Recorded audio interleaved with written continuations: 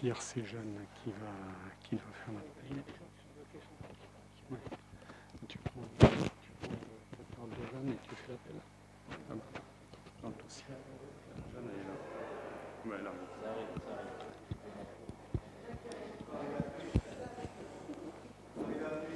Bien, mes chers collègues, nous allons démarrer. Il semble qu'il y ait quelques difficultés de circulation.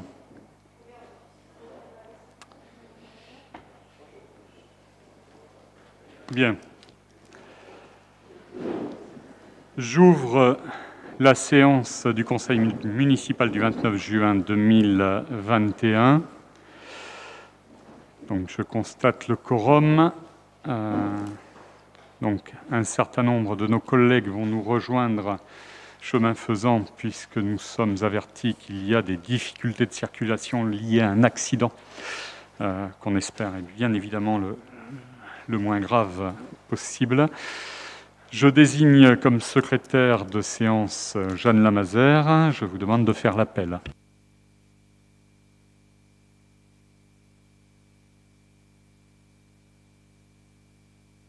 Non. Emmanuel Anan. Jean-Louis Grousset. Céline Lambezat donne pouvoir à Mathilde Rousset-Gomez, qui va arriver incessamment sous peu. Marc Desplat. Joël Baille-Lasserre. Jean-Pierre Bounine. Mathilde Rousset-Gomez, donc retardée. Jean-Jacques Sansebé. Marie de Moreau.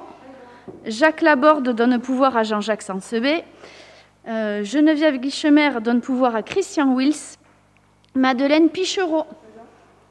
Michel Arenas. Gisèle Fourquet donne pouvoir à Madeleine Pichereau. Philippe Etchebest.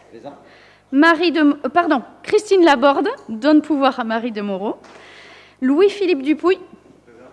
Jean-Pierre Carrère. Anita Bust. Christian Wills. Michel Vives. Alice Boubarn, moi-même, donc présente, Sébastien Costedoite, Émilie Darceau, retardée, Valérie Marcoas, Marie-Luce Musel, Pierrette Domblide, Louise Conégéro, Jean-Michel Berzès donne pouvoir à... Ah pardon Excusez-moi, je m'en suis emballée. Éric Delteil, euh, Pierre Labenne, et Bernard Méliande.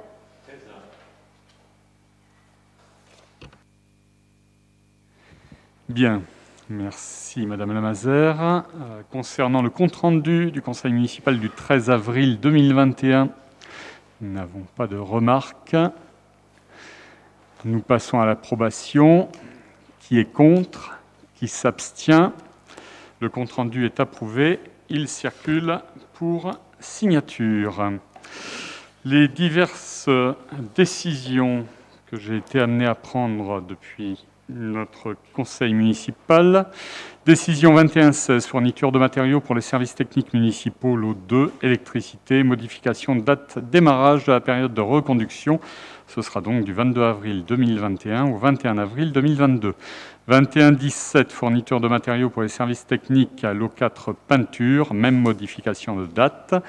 21-20, demande de dotation de soutien à l'investissement, travaux, bureaux, services régis de l'eau et d'urbanisme, sollicitation auprès de l'État d'un montant de 328 672 euros hors taxe. 21-22, maîtrise d'œuvre pour la rénovation du théâtre Francis Planté, attribution du marché à la SARL Gauche-Muru du PAC pour un montant de 77 730 euros hors taxe. 21-23, demande de subvention et diagnostic amont pour la réduction des micropolluants sur le système d'assainissement collectif. Sollicitation auprès de l'Agence de l'eau à Dour-Garonne pour un montant de 29 500 euros hors taxe. 21-24, signature d'une convention relative à la mise à disposition de locaux associatifs à titre gracieux au profit de l'association Union Cyclotourisme Orthésienne, mise à disposition des locaux situés 5 avenue du Corfranc Pommiès. 21-25, Travaux de rénovation de l'école de la chaussée de Dax et mise en accessibilité. Attribution des lots à diverses entreprises pour un montant de 313 201,97 euros hors taxe. 21-26, restitution du dépôt de garantie d'un bail commercial avec Madame Lignereux Chloé Félinails, magasin numéro 5 du complexe de la Moutette, restitution de la somme de 437,61 euros. 21-27, remboursement de sinistres contentieux, incendie façade Théâtre Francis Planté, dégradation espace jeux enfants extérieurs, règlement immédiat de la SMACL d'un montant de 25 651,21 euros TTC règlement différé d'un montant de 2048,11 euros TTC après travaux. 21-28 achat de 13 vélos aquabike pour la piscine municipale, achat pour un montant de 16 228 euros hors taxe. 21-29 Fourniture de matériel et de pièces pour l'adduction d'eau potable et assainissement. 21-30, souscription des marchés d'assurance de la ville d'Orthez, attribution des différents lots à la SMACL. 21-31, contrat de fourniture avec mise à disposition d'un ensemble de conditionnements, mise à disposition d'une selleuse et empreinte. Contrat signé avec la société Rescasset Concept pour un montant de 10 551 euros hors taxes et 91 centimes. Voilà mes chers collègues. Le prochain conseil municipal aura lieu le 21 septembre 2021 à 18h.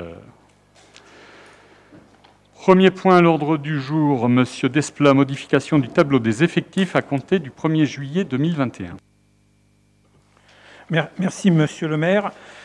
Euh, il s'agit donc d'une délibération un peu technique, comme, euh, comme à chaque fois, qui vient euh, modifier le tableau des effectifs.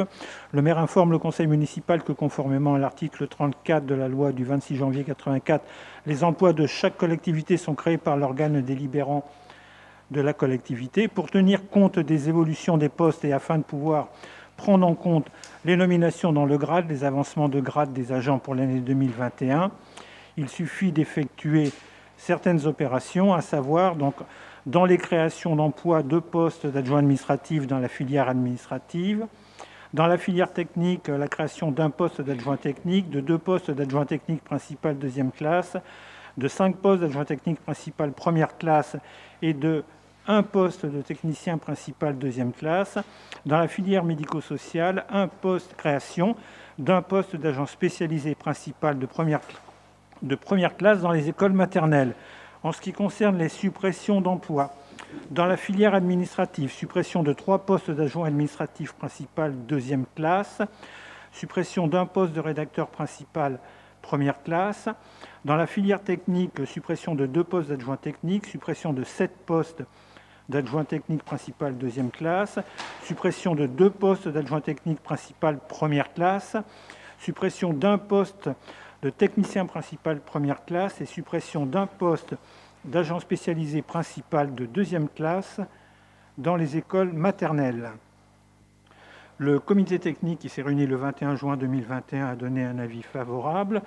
Je vous précise en marge que euh, globalement l'effectif de la collectivité euh, n'a pratiquement pas varié à un poste près depuis la dernière, euh, la dernière mise, comment dirais-je, mise à jour de ce tableau d'effectifs et qu'il n'y a pas donc de, de, création particulière ou de suppression particulière sur ce tableau, comme je l'ai expliqué en commission, commission ressources la semaine dernière.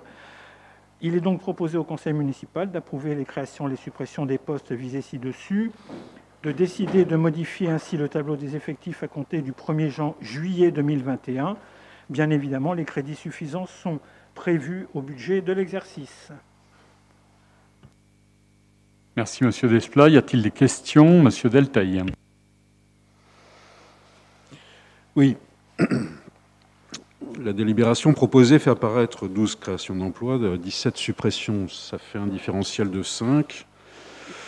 Alors je veux bien que ce soit une délibération technique, je veux bien que ce soit le produit de promotion de, personnel euh, d'un côté, qu'il y ait une stabilité des effectifs, mais il faut qu'on m'explique à un moment donné que les supports postes sont quand même euh, euh, visiblement en régression par rapport aux années précédentes. C'est le sens de, mon intervention. Alors on peut expliquer en commission euh, euh, que ce n'est qu'il y a une stabilité des effectifs, mais ceci dit, euh, je pense que vous voulez vous convaincre vous-même. Si les postes définis comme prévu correspondent, et on peut l'entendre comme cela, aux besoins en termes de personnel pour assurer les missions de service public, avez-vous, monsieur le maire, l'objectif de, diminuer ces missions? La deuxième question, pour que les citoyens de nos deux communes associées puissent clairement comprendre les enjeux. Pouvez-vous nous dire, monsieur le maire, quels sont euh, de façon très concrète les services euh, qui vont être restructurés ou impactés par cette réduction. Euh, cette réduction? En effet, les créations ou suppressions de postes sont définies par cadre d'emploi et non pas par service. Et bien averti celui qui est capable, à partir des documents présentés ce soir, de dire si le service d'état civil est impacté, ou le secrétariat, ou encore le service de marché public et je pourrais développer service par service. Comme vous avez annexé à cette délibération les tableaux des effectifs depuis 2000, on peut donc constater que depuis cette date, il y a eu, au niveau des effectifs prévus, 64 suppressions de, postes statutaires. Et je précise bien prévus, puisqu'il y a deux colonnes. Et ce, en comptant dans les effectifs pour 2021 les sept personnels de la Régie des eaux qui sont sous statut privé. Depuis 2018, première année de votre mandat, vous avez eu la main sur les effectifs en tant qu'employeur. La suppression des postes prévus est de 30. Moins 34 postes statutaires en 17 ans, moins 30 en 3 ans, sous votre mandature. Cela représente 12,19% des postes des agents des communes associées. Monsieur le maire, quand bien même on prendrait que le nombre représenté des effectifs pourvus, on observe une diminution. Que vous ayez reçu, monsieur le maire, l'assentiment des représentants de certaines organisations syndicales en dit long sur les rapports entre certains salariés et leurs employeurs, ainsi que le lien de subordination qui les lie. Votre politique accompagne la destruction des services publics et au premier chef les services communaux, qui sont des services de proximité, faut-il rappeler ici que ce qui constitue l'égalité en droit des citoyens, c'est la présence des services publics chargés de garantir cette égalité. Ces services publics, ce sont des personnels qualifiés et pour bon nombre d'entre eux, des agents territoriaux. Lors de la discussion sur le rapport de présentation des comptes administratifs 2020, vous précisiez l'argument suivant. Dans l'avenir, la baisse des charges de personnel passera par une modification du service rendu aux usagers L'emploi, dans cette phrase du futur et non du conditionnel, définit une orientation politique que l'on peut traduire par nous allons baisser le nombre de personnels communaux et cela aura un impact sur les services rendus aux usagers. J'étais intervenu pour rétorquer quelles sont vos intentions, monsieur le maire. À cette occasion, je vous précisais, monsieur le maire, que la loi du SOPT allait porter un coup sévère aux communes et au personnel et donc aux services rendus aux usagers. Mais vous n'en avez pas parlé monsieur le maire, et pire, vous prenez comme fait acquis le, fait d'accompagner cette politique. Eh bien, nous y sommes. Monsieur le maire, vous n'avez, à ma connaissance, pas supprimé de jours de congé au personnel comme l'avait fait euh, Madame Hidalgo, votre co-religionnaire à Paris, mais dans, la mesure où c'est Monsieur Darrigan qui s'en est occupé. Mais au lieu de, rétablir les choses, et puisque vous présentez en homme de gauche, vous continuez à tailler à la serpe dans les effectifs. Faut-il rappeler enfin que ce qui constitue l'égalité de droit des citoyens, c'est la présence des services publics chargés de garantir cette égalité? Monsieur le maire, les citoyens ne sont pas des imbéciles. Et vos du prix pour les citoyens de Sainte-Suzanne ou les projets qui portent ce qui sort du chapeau du magicien à la dernière minute avec un projet de création de 1000 emplois apparaissent comme des manœuvres grossières qu'il refuse de cautionner. Vous venez d'en faire la mère expérience. Et pour reprendre l'expression utilisée par M. Sansebet, qui regarde visiblement régulièrement Fort Boyard, lors d'un concert municipal dernier, Duralex, Sedlex. Nous ne pouvons contribuer à ce forfait et je voterai donc Contre. Bien, ce n'est pas une surprise. Euh, caricature et confusion une fois de plus, mais vous n'en êtes pas la première. Euh, euh, c'est vous qui caractérisez les citoyens. Moi, je ne me permettrai pas ce genre d'assertion. quant aux projets, aux manœuvres grossières, ce ne sont pas les objectifs de cette délibération. on en reparlera, d'autant que ce n'est pas moi qui communique pour le présenter. Mais on en reparlera. Et j'attends ces moments avec une certaine gourmandise, je dois vous le dire. Euh, mais ce n'est pas encore l'heure. Sur euh, euh, les régressions, les services impactés, les objectifs, l'objectif depuis le début, il est clair. Il est d'être attentif à chaque ligne, et y compris le chapitre 012 sur euh, les finances liées au personnel. Dans ce que euh, vous avez présenté, et y compris sur les postes diminués, beaucoup de confusion, Monsieur Delteil. Il se trouve, mais il faut vous excuser, vous ne siégiez pas encore alors au sein de cette Assemblée, qu'en 2018, oui, effectivement, on a appliqué un principe qui me semble être de bonne gestion et de pleine information au conseil municipal, c'est de ne pas laisser des postes vacants dans un tableau des effectifs pour pouvoir les garnir au fur et à mesure des embauches, mais bien de les créer au vu et au su de tout le monde au moment où il y a ces embauches. Du coup, les postes qui sont libérés ou libérables sont supprimés. C'est pourquoi alors qu'il n'y a pas du tout de notre part de volonté de mettre les syndicats euh, sous tutelle. D'ailleurs, je suis extrêmement surpris, vous connaissant un peu, que vous puissiez imaginer que quelque élu que ce soit puisse avoir mainmise sur des syndicats qui sont d'ailleurs représentés au CT dans la diversité qu'ont choisi les salariés. Donc je pense que là, vous faites fausse route et que vous mésestimez les représentants du personnel dans leur capacité à pouvoir dire les choses et éventuellement voter contre s'il y avait, comme vous le sous-entendez, une chute drastique des effectifs. Donc, ces différents postes qui disparaissent, c'est lié à tout un tas de facteurs.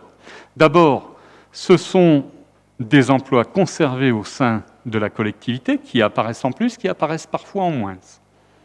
C'est le cas d'une mutation. Quand il y a une mutation d'un personnel, son poste disparaît. Il sera créé lorsque son remplaçant euh, arrivera. C'est le cas des arrêts maladie qui parfois ont nécessité des remplacements, mais restent inscrits et au moment des départs en retraite disparaissent. Il y a parfois dans ces tableaux, parce qu'on ne peut pas supprimer le poste de quelqu'un qui est en maladie depuis plusieurs années, bah, des postes qui ont été remplacés il y a fort longtemps. Et donc, les services déstructurés ou restructurés, ils le sont en permanence, mais pas par défaut ou manque de personnel. Simplement parce que depuis euh, quatre ans, nous avons choisi de renforcer les services par la mutualisation entre les services et le secours qu'ils peuvent s'accorder les uns aux autres. De façon à ce que lorsqu'il y a une surcharge à un moment donné, tous puissent s'y mettre de façon à limiter l'impact qui est conjoncturel, calendaire sur un service. Donc vous avez fait une lecture depuis 2000 et, des statistiques qui ne représentent rien. Et surtout pas la réalité que vous cherchez à décrier avec tant de vigueur. Il n'y a pas euh, de manœuvre, il n'y a pas de volonté de cacher. Au contraire, il nous semble qu'avec ces tableaux ces créations et ces suppressions. Et encore une fois, ça fait l'objet d'une discussion en comité technique avec les organisations syndicales, puisqu'en conseil municipal, nous ne pouvons pas évoquer les noms des différentes personnes. Là, pour le coup, en CT, on peut aller au fond des choses. Et quand il y a un vote unanime, à la fois des représentants du conseil municipal et des organisations syndicales, c'est qu'on n'est pas allé euh, sur l'arithmétique que vous avez présentée là. Y a-t-il d'autres questions? Monsieur Desplat Moi, je voudrais revenir sur euh, ce qu'a dit monsieur le conseiller Delteil. Euh, c'est bien une délibération un peu technique, quoi que vous en, quoi que vous en disiez. Les promotions, les avancements, les avancements d'échelon, les avancements de grade, les évolutions de carrière, mais aussi, les départs, les mutations, les départs à la retraite, les départs maladie, M. le maire a bien expliqué, tout ça, ça nourrit le tableau des effectifs. Je rajouterai que ce n'est pas forcément des temps pleins. Donc le calcul euh, que vous faites est un calcul un petit peu théorique, même complètement théorique, qui peut pas, on ne peut pas additionner des deux tiers temps avec un tiers temps euh, d'un côté dans les écoles. De... Bon, c'est pas possible ça. Ça c'est pas aussi simple que ça. Ce travail, il a été fait en commission, monsieur le conseiller Deltaï. Si vous veniez un peu en commission, je pourrais vous l'expliquer un peu plus longuement que ce soir. Malheureusement, je n'ai pas, je n'ai pas eu ce, grand plaisir. Ensuite, euh, lorsque vous dites que monsieur le maire a la main sur le personnel, vraiment, c'est pas très beau. C'est vraiment pas beau de dire ça. On est quand même un petit peu encadré par le statut, un petit peu encadré aussi par la notion de service public. Et là, vous faites aussi encore un procès d'intention à l'exécutif lorsque vous dites, mais vers quel service public vous voulez aller? En conclusion, votre, votre intervention, euh, personnellement, je la, je la juge vraiment pas très belle. Pas très belle, pas très sérieuse, pas très technique. Enfin, venez donc en commission et on pourra mieux parler de ces choses-là. Vous aurez un peu plus d'informations et vous direz peut-être moins de choses euh, non vraies euh, le soir du conseil municipal même si à la télé, je comprends bien, il faut que vous puissiez vous exprimer. Monsieur Wills. Juste une précision pour Monsieur Delteil, qui s'occupe des Parisiens de Madame Hidalgo. Il se passe la même chose dans le 64 avec les 1607 heures, dont à la CCLO, où c'est qu'on enlève des emplois et on fait des heures supplémentaires. Donc je pense qu'il ferait bien de s'occuper de ce qui se passe dans la région. C'est écrit dans la presse en grand et on n'en entend pas parler de sa part. Et pour ne pas le, nommer, à l'agglomération de Pau, on leur a enlevé, on leur a supprimé leur congé exceptionnel et on les a passés à 1607 heures. Une, agglomération de 1300 emplois et d'agents, ça représente une centaine d'emplois supprimés en passant les agents à une heure de plus par semaine et personne ne fait date et personne ne dit rien, dont M. Delteil. Paris est plus important, c'est vrai. Monsieur Delteil. Oui, Monsieur Vils, euh, j'entends euh, vos propos, je ne peux pas y souscrire, mais je vous appelle à la lecture d'un excellent journal qui s'appelle La Tribune des Travailleurs, et vous verrez les prises de position qu'on peut y avoir à l'intérieur. C'est un journal qui, qui m'est assez cher, mais visiblement vous ne le connaissez pas. Et vous auriez vu à l'intérieur les prises de position effectivement de personnel, des collectivités territoriales, y compris de la, euh, de, de, Pau. Ça, c'est la première chose. Donc, pas de procès d'intention et pas de, de, discours à la va-vite.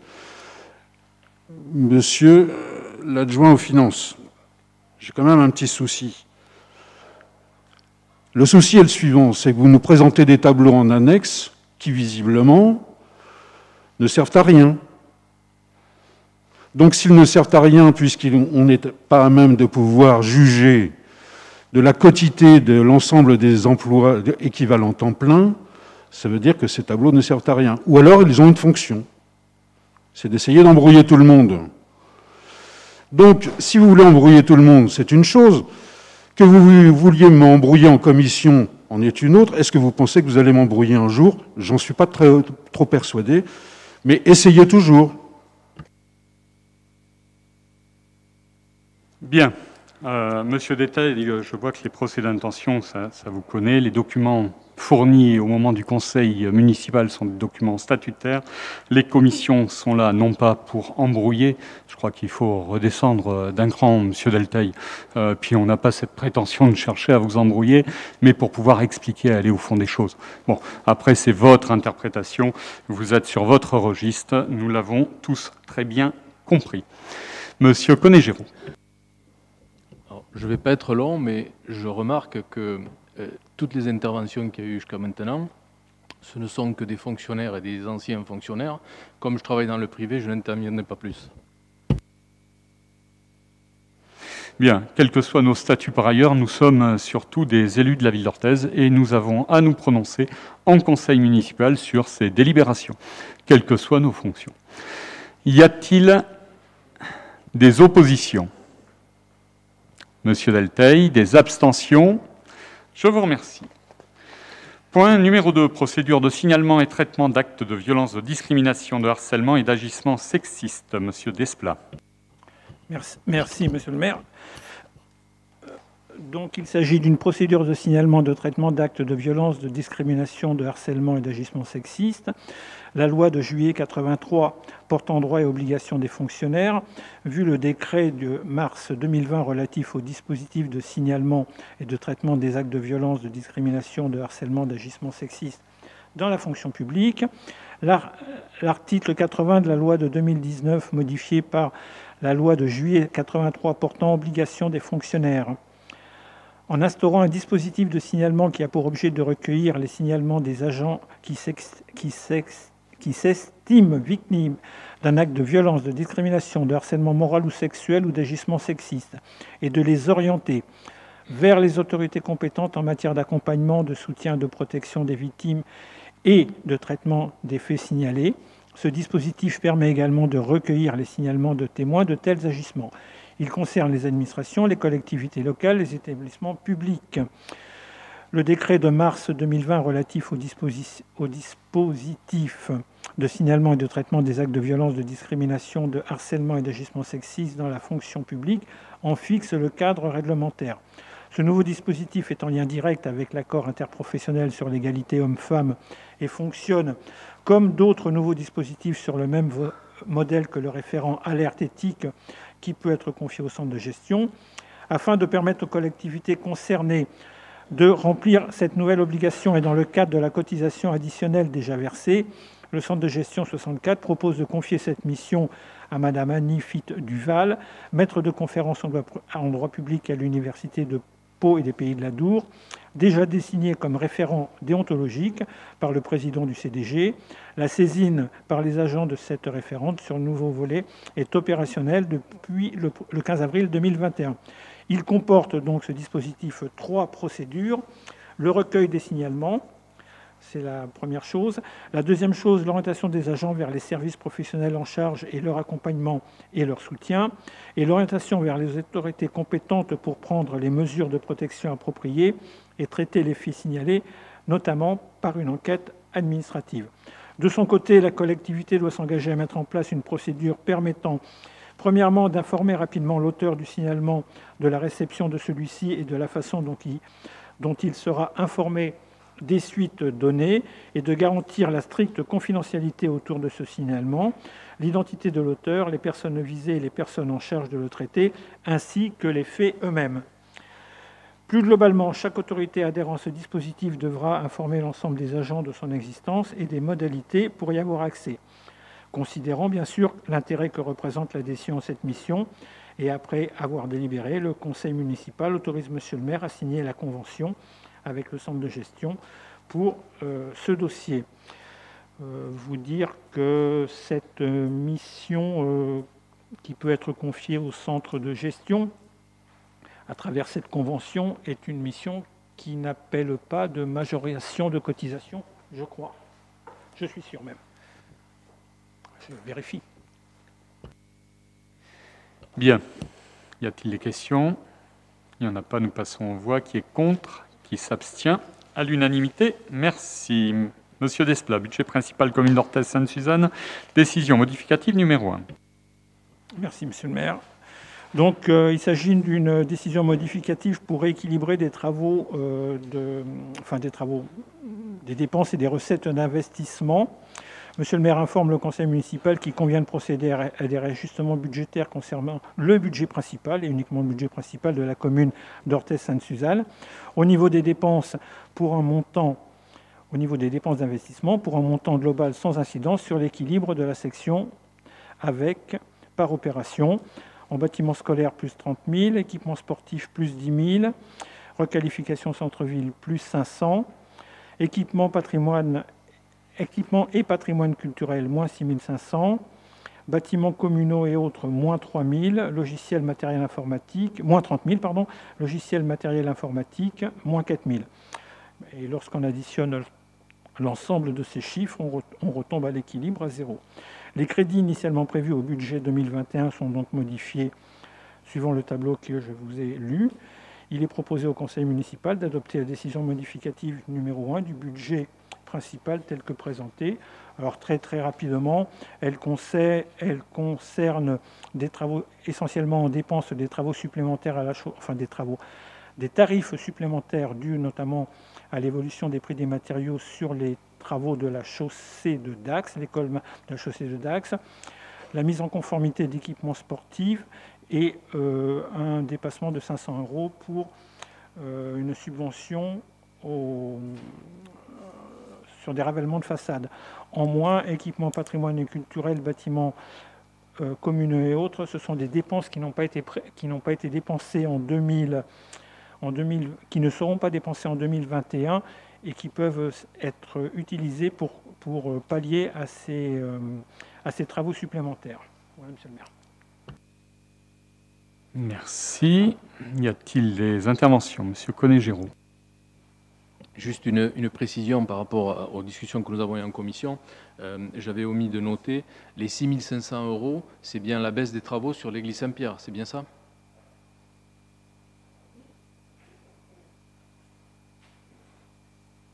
C'est juste pour avoir la précision. Merci. Pour les, réponses, pensez à couper le micro de façon à ce que les réponses soient enregistrées. Donc oui, c'est bien ça. D'autres questions? Nous passons, Monsieur Conégéro. Le détail, bon, je suppose qu'on ne l'aura pas, mais euh, il me semble entendre que euh, l'église Saint-Pierre a quelques soucis, euh, avait des volumes beaucoup plus importants. Je suis surpris qu'on baisse les quelques travaux qui avaient été prévus sur l'église. voilà, cette ligne me surprend. Oui, ça fait partie euh, des bonnes surprises qu'on peut avoir, y compris lorsque ce sont euh, des entreprises orthésiennes qui interviennent avec euh, beaucoup de cœur pour l'ouvrage, y compris d'attachement à cet édifice, qui fait que nous avons eu la possibilité de sécuriser notamment les, euh, euh, désordres sur la partie arrière de l'église à, moindre, à moindre coût. Et ensuite, pour le reste, nous sommes en discussion sur un programme global qui sera pluriannuel, comme on s'y était euh, engagé, euh, reprenant en compte la totalité euh, des travaux. Et nous n'hésiterons pas à solliciter les différentes instances, y compris le conseil départemental, puisque j'ai vu que nos nouveaux conseillers avaient beaucoup d'entrain et d'enthousiasme pour nous aider à résoudre ces difficultés. Monsieur Conégéraud. J'espère seulement que les dieux nous en voudront pas de réduire les travaux sur l'Église. Vive la laïcité. Euh, Monsieur Sansebé. Monsieur Conégéro, on vient de vous dire pas qu'on a diminué les travaux, qu'on a fait les mêmes travaux pour un coût inférieur. C'est tout. Vous qui êtes à la banque, vous savez que quand on peut faire des économies, on fait des économies. Bien, nous allons passer aux voix. Qui est contre? Qui s'abstient? À l'unanimité. Je vous remercie, Monsieur Desplat. Félicitations pour cette belle unanimité. Monsieur Wills, remboursement partiel subvention Harmonie municipale 2020 pour cause de Covid-19. Merci, monsieur le maire. Par délibération 20-112 en date du 28 juillet 2020, le conseil municipal a voté l'octroi d'une subvention de 18 000 euros au titre du salaire du chef de l'harmonie municipale. Dans la convention d'objectifs et de moyens en date du 9 mai 2018, signée avec l'association, il est stipulé dans un article 2-3-1 qu'au titre du service accompli dans le cadre de la direction de l'harmonie municipale, le salaire du chef de l'harmonie sera financé en totalité par la ville, charges sociales et patronales incluses, sous forme d'une subvention annuelle.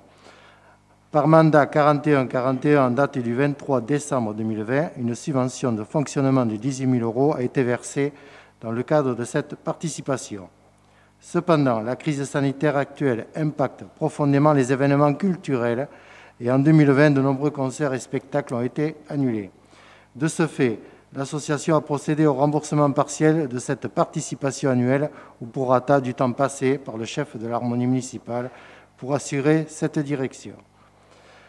Après en avoir délibéré par le conseil municipal, décide de prendre acte de la démarche de l'harmonie municipale d'accepter le remboursement de 5 370,19 euros. Merci. Y a-t-il des questions? S'il n'y en a pas, nous allons euh, saluer ce geste à la fois militant et citoyen. Y a-t-il des oppositions? Des abstentions Donc, Monsieur Rousset ne prenant pas part au vote, nous accédons à ce remboursement à l'unanimité. Monsieur Desplat, signature d'un protocole transactionnel entre la commune d'Orthez-Sainte-Suzanne et SMAC l'Assurance suite à l'incendie de la minoterie.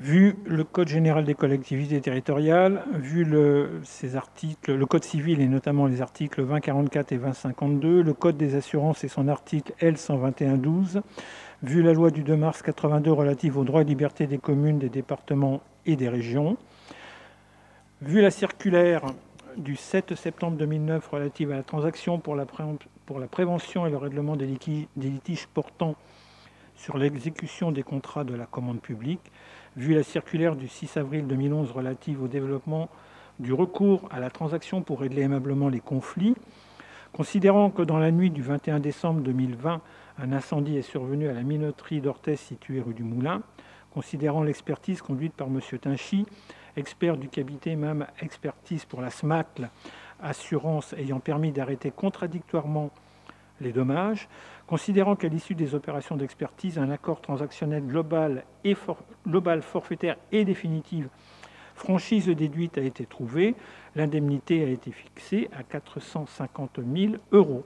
Considérant la volonté des deux parties de régler aimablement, amiablement le différent qui les oppose, et afin d'éviter tout recours contentieux, le projet de protocole transactionnel joint à la présente délibération détermine les démarches et les contreparties exigées par chaque signataire.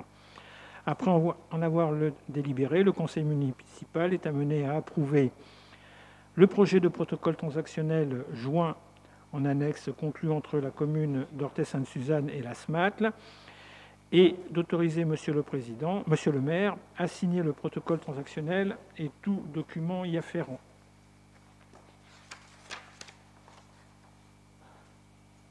C'est bon, merci. Pardon. Merci. Y a-t-il des questions? Monsieur Conégéraud.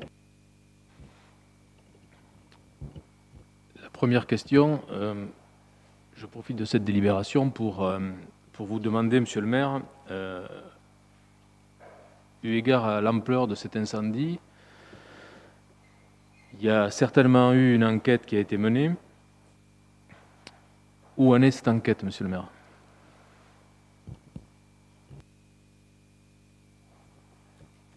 L'enquête a considéré qu'il n'y avait pas possibilité de trouver des preuves d'un acte quel qu'il soit vu l'ampleur euh, du sinistre, et donc sera classé euh, sans suite. Voilà pour votre première question. Euh, moi, à titre personnel, ce n'est pas une, réponse qui, m'aurait satisfait, satisfaite. Je, un bâtiment qui n'a pas d'électricité, un bâtiment qui n'a pas, qui, n'a rien pour prendre feu et qui prend feu et on classe une enquête. Est-ce que c'est pas le fait d'avoir euh, validé cet accord euh, de 450 000 qui a fait que l'enquête s'est arrêtée? Ça n'a absolument rien à voir. Je crois que là aussi, euh, il y a quelques confusions. Nous ne sommes pas enquêteurs les uns et les autres. C'est la mission du parquet et du procureur. et très honnêtement, le parquet ne s'intéresse pas aux suites assurantielles qui concernent un lieu. Il s'occupe euh, de la difficulté qui a été constatée, du crime, du délit euh, et euh, d'éventuelles pistes qui peuvent être suivies ou non. En l'occurrence, il n'y a pas d'indice permettant de, structurer l'enquête et, de déboucher. Donc moi je veux bien qu'on mobilise la police et la justice de notre pays pour résoudre cette énigme qui doit certainement gâcher une partie de vos nuits, mais je crois qu'il faut être davantage pragmatique et se rendre à l'évidence. Donc ça n'a rien à voir.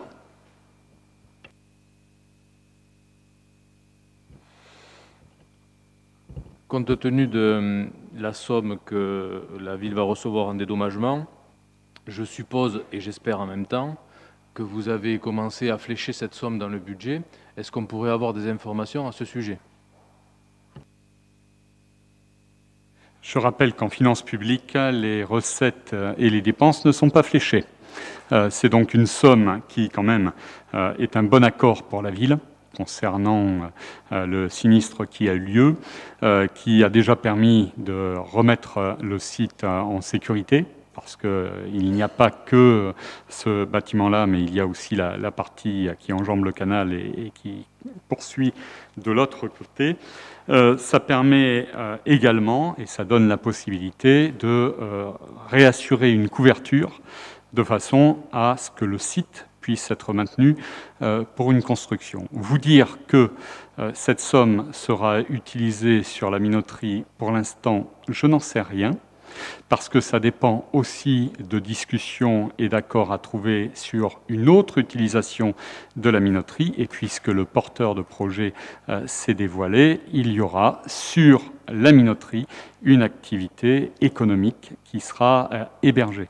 Reste à savoir si des travaux sont nécessaires ou non et il reste le ou non par rapport au projet architectural, évidemment respectueux du site puisque ça passera forcément par les fourches codines de l'architecte des bâtiments de France euh, qui sera ensuite euh, mis en place. Mais en tout cas, cet incendie n'est pas un obstacle à la valorisation euh, du site et ça, c'est un aspect qui pour moi est essentiel. Voilà ce que je pouvais vous dire ce soir bien évidemment, dès que j'en aurai la possibilité, nous irons plus avant sur ces dossiers. Monsieur Conégéraud. Vu l'état de, de l'immobilier qui a flambé, est-ce qu'il ne serait pas judicieux de procéder à la démolition de euh, certaines parois qui sont aujourd'hui dangereuses? En commission, on nous a dit qu'on allait refaire les têtes de mur de, manière à ce que l'eau ne vienne pas s'infiltrer. Euh, sur des murs aussi fragilisés, euh, est-ce qu'il ne serait pas plus judicieux de partir d'une page blanche et de raser tout ce qui n'a plus lieu de rester debout? C'est là où techniquement il faut aller un peu plus loin sur le dossier. Ce sont des préconisations. Hein. La protection des têtes de mur, ce n'est pas une obligation, d'une part. Et d'autre part, nous sommes sur une zone orange du PPRI. Et lorsque euh, l'ancienne usine de palettes a été euh, démolie, à partir du moment où il y a démolition, vous perdez le droit à construire. Et donc il vaut mieux garder les murs, réutiliser cette enveloppe pour pouvoir y mettre des activités si on met tout par terre, on ne reconstruira rien. Et là, pour le coup, euh, il y a un foncier qui est définitivement perdu, avec euh, des centaines de mètres carrés qui seraient abandonnés. Et donc, euh, on a intérêt, et c'est ce que moi j'ai fait valoir, y compris lorsque on était dans ce processus transactionnel avec notre assureur, à conserver le bâti pour pouvoir lui donner à nouveau une utilité. Si on rase tout, on ne fait plus rien. Voilà, mes chers collègues, Monsieur Conégéraud. Alors, si je peux me permettre euh, et vous soumettre une idée, avec l'argent que vous allez percevoir, il me semble qu'il y a quelque temps, vous me disiez que vous teniez à votre programme électoral des municipales. Vous pourriez commencer par acheter le chapiteau de la Villette. Vous, aurez euh, compris, euh, Monsieur Conégéraud, qu'on est bien au-delà de ce sujet dorénavant, tout en respectant ces engagements euh, d'un projet qui tourne à la fois autour du numérique, de l'eau, de l'énergie et de l'alimentation. Nous allons mettre Madame Musel. juste une petite question. Là, je lisais dans la presse. Voilà un an et demi que nous échangeons avec les porteurs de ce projet. C'était votre phrase. Mais sur quoi ont porté les. comment dire Quelle était la teneur de ces échanges? Je veux dire, en quoi ce projet. Enfin, pour nous, c'est pas très. On ne voit pas vraiment le contenu. Pardon. C'est normal. Ce n'est pas une volonté de cacher les choses, puisque euh, je milite depuis longtemps sur ces sujets-là, mais parce que des clauses de confidentialité à un moment donné euh, m'empêchent de parler.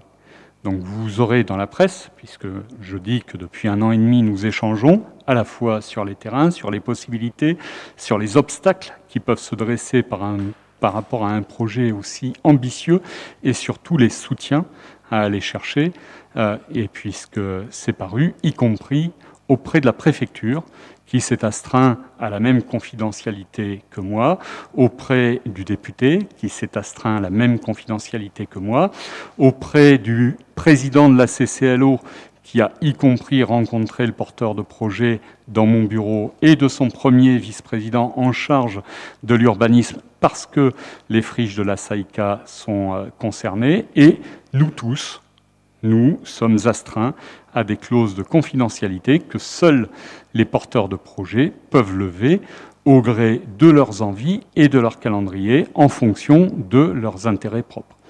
Donc c'est un projet que je soutiens, que nous soutenons euh, à 100%. Je suis sûr, vu l'ampleur et vu ce que ça apportera à Orthez, que nous serons unanimes une fois bien évidemment que vous en aurez une connaissance plus détaillée, mais qui ne m'appartient pas aujourd'hui de vous livrer plus avant. Bien, nous allons passer aux voix. Qui est contre? Qui s'abstient Je vous remercie à l'unanimité. Monsieur Carrère, réalisation d'une aire de jeu à Sainte-Suzanne, convention avec le département et conditions de la rétrocession à la commune d'Orthez-Sainte-Suzanne. Merci, monsieur le maire. Dans le cadre du budget participatif du département, l'association Lilou Bélange bénéficie d'un financement d'un montant de 49 930 euros pour la réalisation d'une aire de jeu accessible à tous à Sainte-Suzanne. La convention initiale du département prévoyait que l'association reste propriétaire de l'aire de jeu pendant la durée d'amortissement de l'équipement.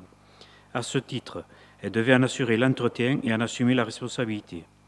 Il a été demandé au département de retirer cette clause afin que l'association soit dégagée de, cette responsabilité. La convention s'y annexée prévoit que la responsabilité, la gestion et l'entretien de l'aire de jeu relèvent des partenaires. Dans le cas d'espèce, le contrôle et l'entretien de l'aire de jeu implantée sur le domaine public communal relèvent de la compétence de la commune. Il est précisé que la commune d'Orthez-Saint-Suzanne assurera l'entretien de l'aire de jeu après travaux et réception de l'équipement sans réserve et dès lors qu'une convention de rétrocession aura été signée avec l'association. Après l'avis favorable du Conseil consultatif de Saint-Suzanne, qui s'est réuni le 28 juin 2021 et après en avoir délibéré, le Conseil municipal autorise Monsieur le maire de la commune d'Orthez-Sainte-Suzanne et la maire déléguée de Sainte-Suzanne à signer la convention s'y prend acte que l'entretien de l'aire de jeu sera réalisé, par la commune d'Orthez-Sainte-Suzanne après signature d'une convention de rétrocession avec l'association. Je vous remercie. Y a-t-il des questions? Monsieur Conégéraud. Vite fait, euh, juste pour dire qu'effectivement, il est heureux qu'on prenne cette délibération. Euh, on ne peut pas laisser une, association porter une, un, une telle responsabilité, deux, l'entretien d'une aire de jeu. Donc euh, il est même difficile de concevoir que le département ait pu inclure cette clause dans la Convention. Heureusement qu'on est en train de la corriger. Oui, effectivement, euh, les services de la ville d'Orthez euh, nous ont alertés très rapidement de cet inconvénient. Il y a eu des échanges avec le conseil départemental qui a dû prendre une nouvelle convention, euh, parce que je partage totalement ce que vous venez de dire. Il est insupportable de laisser une telle responsabilité à une association, d'autant que au-delà de la responsabilité de l'association en cas de mauvais entretien, et on a vu ce qu'une une commission de sécurité pouvait faire de l'ensemble des jeux sur les sols amortissants en l'espace d'une seule visite, serait absolument très difficile à gérer pour des bénévoles qui ont une autre vocation en tout cas que d'assumer cela. Euh, au-delà, ça montre aussi que le département, sur un dispositif intéressant, le budget participatif, a peut-être, et j'espère que ça servira d'expérience pour les éditions qui s'annoncent, puisqu'elles doivent s'annoncer, été un peu vite en besogne, parce que le, cas euh, qui nous concerne concerne aussi d'autres communes, et euh, par le biais de son dispositif, mais de fait les communes et les intercommunalités à contribution, ce qui n'était pas l'objectif premier.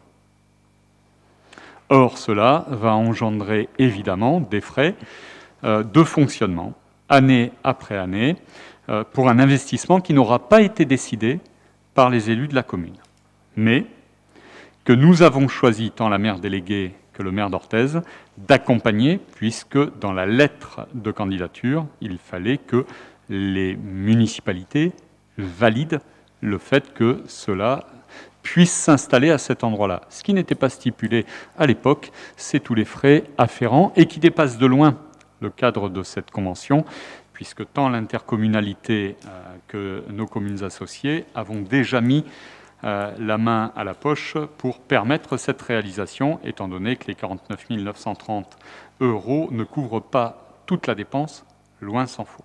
Mais c'est une belle aire de jeu euh, qui sera sur notre territoire.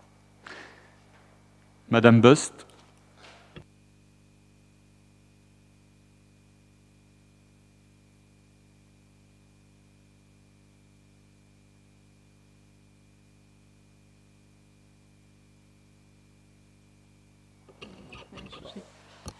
Oui, mais vous avez répondu à ce que, je voulais dire. Effectivement, je suis contente que le conseil départemental ait répondu à notre demande de modifier cette euh, délibération, cette convention. Nous allons passer aux voix. Qui est contre? Qui s'abstient? À l'unanimité. Merci. Monsieur Bounine, tarif piscine aquabike. Merci, monsieur le maire. La commune d'Orthez-Sainte-Suzanne avait testé l'activité aquabike pendant 15 jours au mois de mars 2019. Compte tenu de l'attente du public, des créneaux dédiés à cette activité seront ouverts en septembre-octobre 2021 avec une programmation de trois séances par semaine.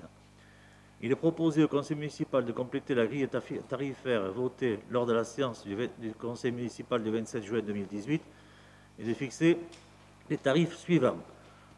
11 euros par séance pour les orthésiens saint-suzannais, 14 euros par séance pour les non-orthésiens saint-suzannais, et par trimestre 120 euros pour les uns et 156 euros pour les autres. Le fonctionnement détaillé dans le règlement intérieur joint à la présente délibération pourrait être revu en cours d'année selon la fréquentation constatée. Après avoir délibéré, le conseil municipal approuve les tarifs de l'activité aquabike. Je vous passe le règlement intérieur de l'aquabike, ce qu'on peut retenir, c'est qu'il y aura trois, séances par semaine, le lundi, le, jeudi et le dimanche matin. Ce qu'on peut retenir aussi, c'est que les vélos sont de marque, euh, sans faire de publicité, Dynamica, c'est français.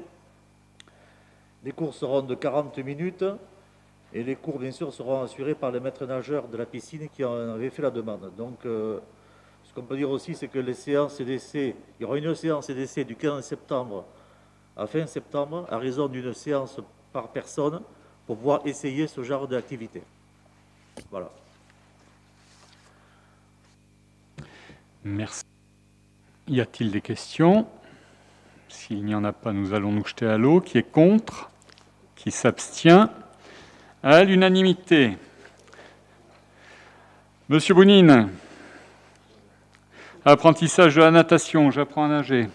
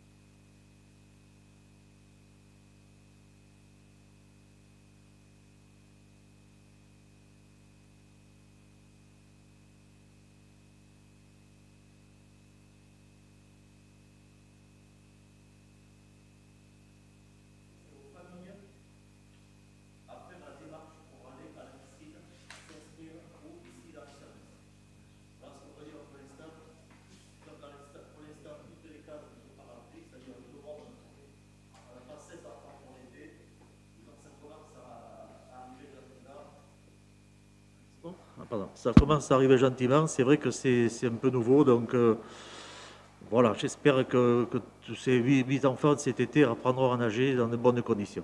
Merci. Merci, Monsieur Bounine, c'est essentiel. Y a-t-il des observations? Nous passons au vote. Qui est contre? Qui s'abstient À l'unanimité. Merci. Madame Rousset-Gomez, contrat d'association avec l'enseignement privé conventionné, montant du forfait communal 2021. Merci, Monsieur le maire. Le forfait communal est établi sur la base de l'ensemble des dépenses de fonctionnement assumées par la commune pour les écoles publiques, en dehors de toutes dépenses affectées au temps périscolaire.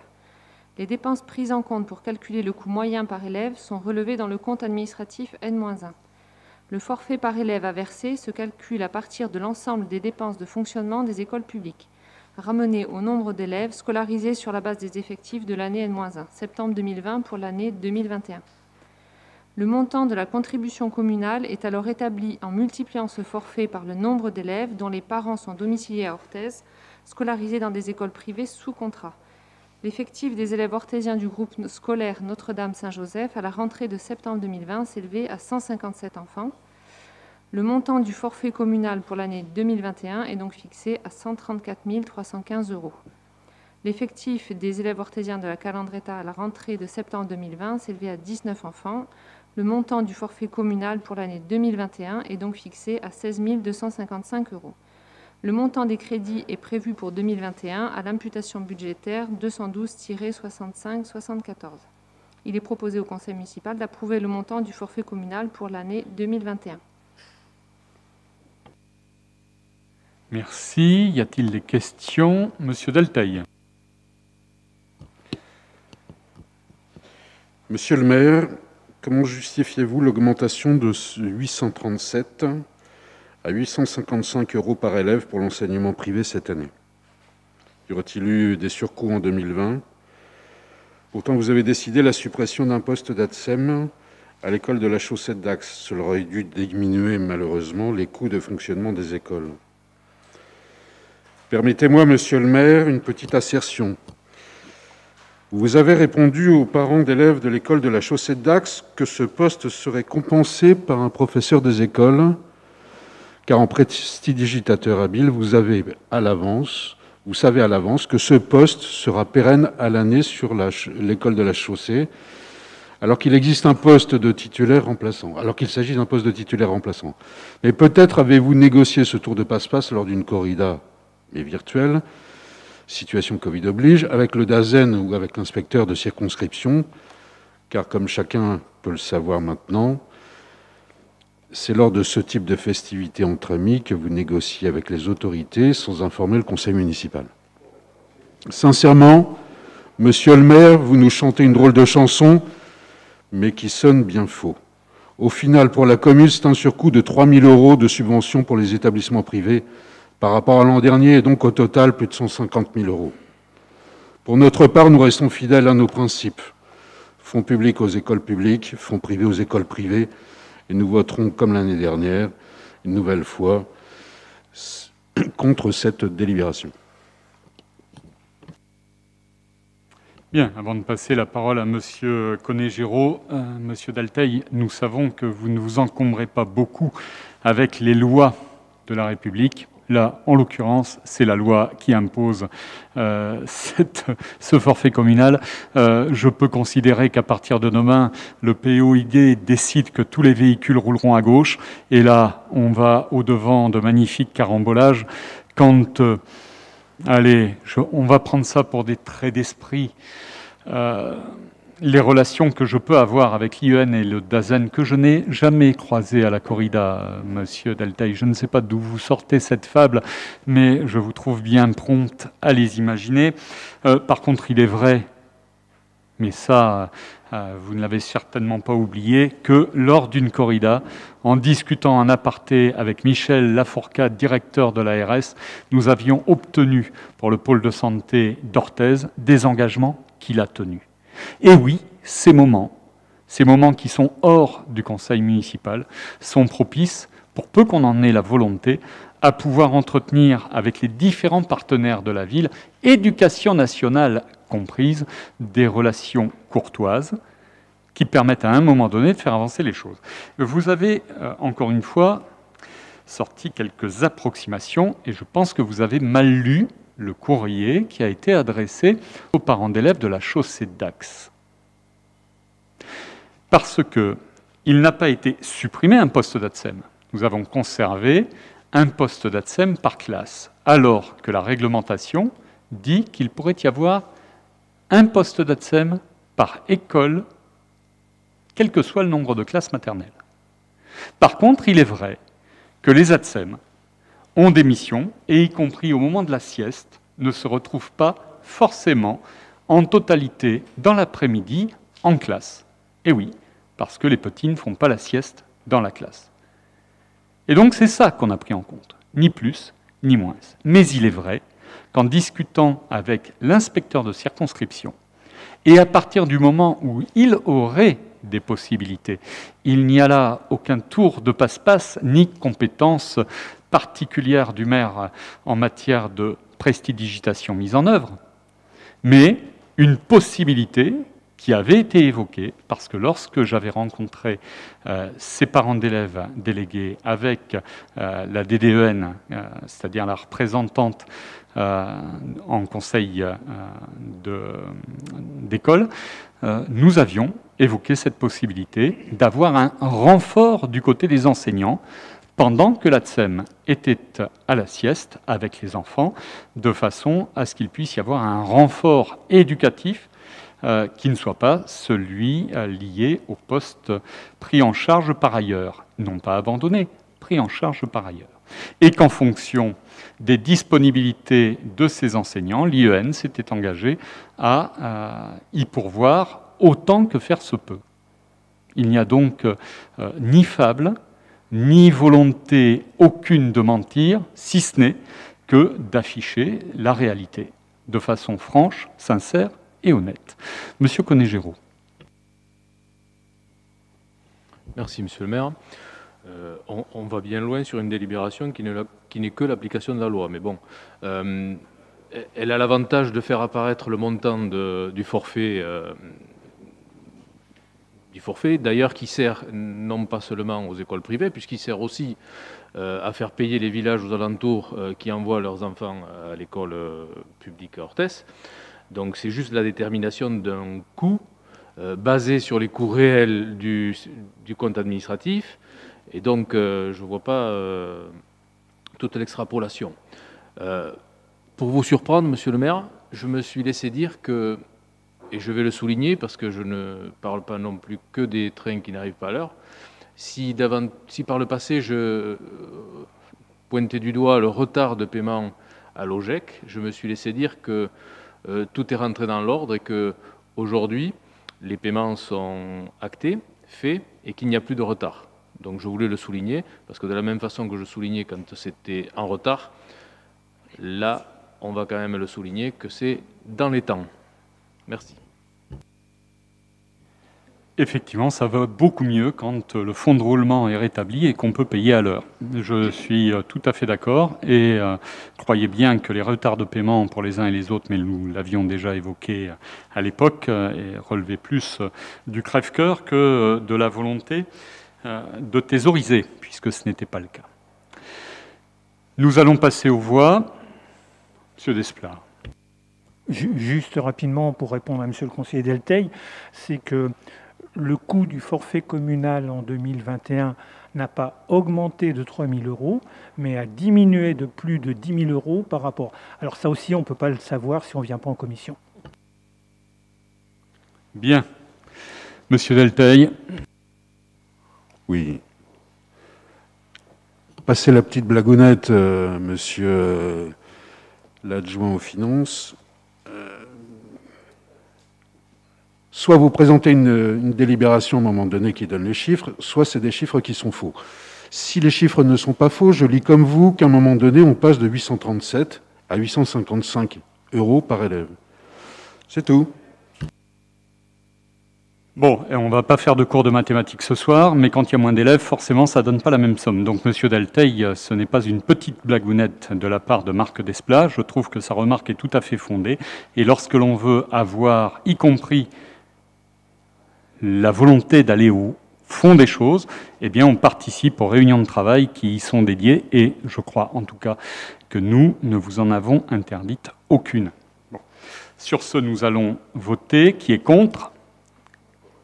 Une voix contre M. Delteil, qui s'abstient? À la majorité, je vous remercie. Madame Lamazère, accueil de loisirs sans hébergement LSH, contrat d'engagement éducatif. Merci, Monsieur le maire. La commune d'Orthez-Sainte-Suzanne organise l'accueil de loisirs sans hébergement depuis le 1er janvier 2020. L'encadrement de la LSH est assuré par des animatrices affectées au service périscolaire pendant la période scolaire, le mercredi et lors des périodes de petites vacances, le nombre d'agents issus du périscolaire et nécessaire à l'encadrement de la LSH est suffisant. Pendant la période d'été, la commune a besoin de recruter du personnel afin de répondre aux normes des DCS et pour remplacer le personnel permanent en congé. À cet effet, les collectivités territoriales peuvent conclure des contrats d'engagement éducatif, CEE, en vue de l'organisation d'accueil collectif de mineurs dès lors qu'il s'agit de satisfaire un besoin occasionnel de recrutement et qu'elles sont responsables de l'organisation de ce type d'activité. Le CEE a été créé par le décret numéro 2006-950 du 28 juillet 2006 relatif à l'engagement éducatif pris pour l'application de la loi numéro 2006 586 du 23 mai 2006 relative au volontariat associatif et à l'engagement éducatif afin de répondre aux besoins spécifiques de ce secteur d'activité. Le CEE est un contrat de travail de droit privé spécifique destiné aux animateurs et directeurs d'accueil collectif de mineurs. Il fait l'objet de mesures dérogatoires au droit du travail en ce qui concerne le temps de travail, de repos du salarié et la rémunération. Il est rappelé que la personne recrutée doit justifier des qualifications exigées et qu'elle doit être affectée à des fonctions d'animation et d'encadrement durant un temps spécifique. La notion de participation occasionnelle se traduit par l'impossibilité d'engager un salarié pour une durée supérieure à 80 jours de travail sur 12 mois consécutifs. Ne peut pas être engagée en CEE une personne qui anime au quotidien des accueils en, en période scolaire. Concernant la durée du travail, les dispositions relatives à la durée légale ne s'appliquent pas aux titulaires d'un CEE. Celui-ci bénéficie expressément d'un régime permettant de tenir compte des besoins de l'activité. Cependant, certaines prescriptions minimales sont applicables. Le salarié ne doit pas travailler plus de 48 heures par semaine, calculées en moyenne sur une période de six mois consécutifs. Le salarié bénéficie d'une période de repos hebdomadaire fixée à 24 heures consécutives minimum par période de 7 jours. Le salarié bénéficie également d'une période de repos quotidien de 11 heures consécutives minimum par période de 24 heures. La rémunération des personnes titulaires d'un CEE ne peut être inférieure à 2,20 fois le montant du salaire minimum de croissance horaire par jour lorsque les fonctions exercées supposent une présence continue auprès des publics accueillis. La nourriture et l'hébergement sont intégralement à la charge de l'organisateur de l'accueil et ne peuvent en aucun cas être considérés comme des avantages en nature. Après en avoir délibéré, le conseil municipal décide de recruter Pardon, décide le recrutement de quatre animateurs sous contrat d'engagement éducatif pour le fonctionnement de la LSH adopte l'organisation des temps de travail et des temps de repos proposés par la LSH, autorise Monsieur le maire à signer les contrats de travail selon le modèle annexé à la présente délibération dès lors que les besoins du service l'exigeront, dote ses emplois d'une rémunération hebdomadaire de 150 euros bruts, précise que les crédits suffisants sont prévus au budget de l'exercice. Merci. Y a-t-il des questions Monsieur Delteil? Oui, je, je, veux dire, je ne comprends pas trop le, montant final. Dote ses emplois d'une rémunération hebdomadaire de 150 euros par semaine. C'est ça, hein? Enfin, de brut. Brut en plus. Et on nous dit que par ailleurs, la rémunération va être 2,2 fois le SMIC. Bien, monsieur. Pour répondre, c'est pas 2,2 fois le SMIC, c'est 2 fois 2,2 fois le SMIC horaire. Le SMIC horaire, pas 2,2 fois le SMIC. C'est-à-dire qu'on euh, n'est pas sur les mêmes choses. Oui, SMIC horaire, effectivement, vous faites bien de préciser, mais donc ça veut dire que chaque personne va travailler 7 heures par semaine. C'est ça? Madame Rousset-Gomez. Merci, monsieur le maire. Alors, si vous étiez venu en commission, je vous aurais aussi expliqué ça. Ce la c'est la rémunération des stagiaires. Nous allons avoir des stagiaires et donc on va pouvoir les rémunérer. Donc certes, c'est c'est pas l'équivalent d'un SMIC, mais c'est 150 euros brut par semaine. Et au lieu d'avoir rien du tout, comme dans certains endroits, ils vont toucher cette somme-là. Et ils vont travailler pendant euh, trois semaines. C'est des stagiaires BAFA. Voilà. Permettez. Monsieur Del. Stagiaire BAFA, c'est une nouvelle appellation. Jusqu'à présent, le BAFA, quand on était stagiaire, il y avait une rémunération. C'était une rémunération dans le cadre de, euh, euh, non pas de la convention collective de l'animation, mais il y avait une certaine rémunération. Pour avoir pratiqué pendant des années euh, les, choses à être titulaire du BAFA et d'avoir financé une partie de mes études l'été, je peux vous dire que je touchais même des rémunérations qui étaient supérieures au SMIC. Visiblement, là, vous choisissez une autre option de précariser un certain nombre de jeunes au profit du fait qu'ils puissent obtenir une qualification BAFA. Bien joué. Madame Rousset-Gomez. Alors, il n'y a pas de tactique là-dedans. C'est juste qu'il y a des jeunes qui, sont, qui ont besoin d'être stagiaires, qui vont faire euh, un, nombre d'horaires qui, sont qui sont formés. C'est un échange. Et en plus, ils vont être rémunérés. Ils ne sont pas forcément euh, majeurs. Enfin voilà, c'est des stagiaires BAFA. Ils n'ont pas encore le BAFA. Il y a un jeune notamment qui n'est pas stagiaire BAFA et qui va aussi pouvoir travailler euh, voilà, en accompagnement. Euh, je ne vois pas où est le mal de, vouloir en plus les payer, alors que quelquefois, ils ne le sont pas. Ce n'est pas vrai. Ils ne sont pas toujours payés. Et quelquefois, ils, sont, ils peuvent être aussi moins payés que ça. Donc, euh, Je confirme les propos de Madame Gomez.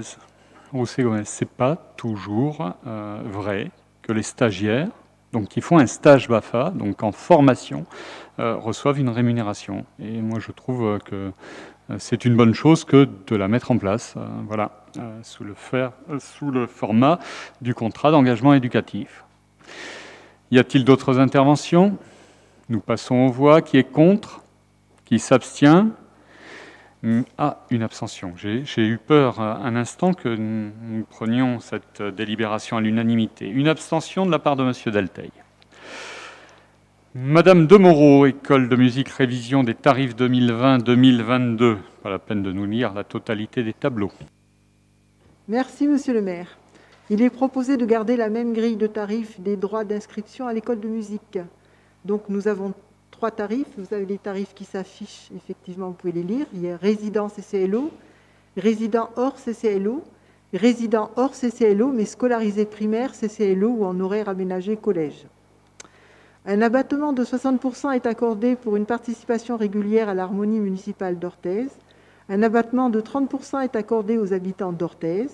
Un abattement de 20% est accordé aux élèves ayant validé un pass musical. Ce pass musical permet à chaque élève qui peut y pénétrer de s'engager dans un ensemble qui a vocation à s'inscrire dans l'animation citoyenne de la cité d'Orthez. Donc cérémonie officielle, carnaval, manifestations diverses. Le tarif atelier n'est pas soumis à ces réductions. Modalité de facturation. Les sommes dues seront calculées fin novembre, réduction harmonie municipale déduite, et 50% de la cotisation totale seront facturées en décembre. Un second appel correspond à 30% de la cotisation sera effectué au mois de février. Exonération de cet appel pour les, élèves habitant Orthès. Le troisième et dernier appel, correspondant à 20% de la cotisation, sera effectué au mois de mai. Exonération de cet appel pour les élèves ayant validé un pass musicaux. Enfin, il est proposé de facturer aux, communes de la CCLO l'intégralité des frais engagés par la ville d'Orthez-Sainte-Suzanne en cas d'organisation de tel ou tel événement dans leur commune. En cas de doute ou de litige sur la résidence principale, c'est l'adresse figurant sur l'entête de la dernière feuille d'imposition sur le revenu qui sera retenue. Après en avoir délibéré, le conseil municipal approuve les tarifs ci-dessus. Merci. Y a-t-il des questions? Nous passons au vote. Qui est contre? Qui s'abstient? À l'unanimité. Madame Demoreau, programmation culturelle 2021-2022.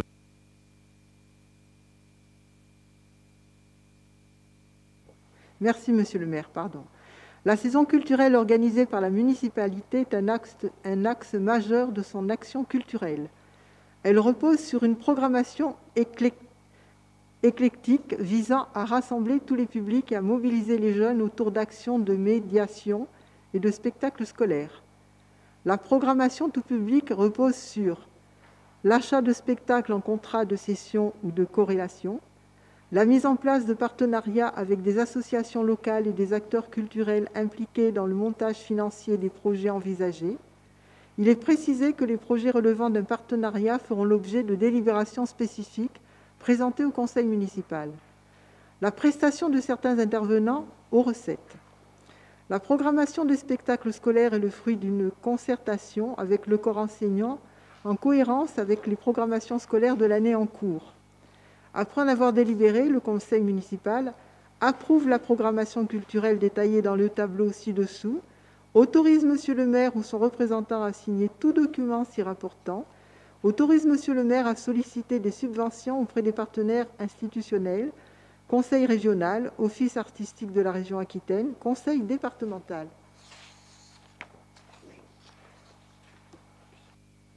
Merci. Y a-t-il des questions?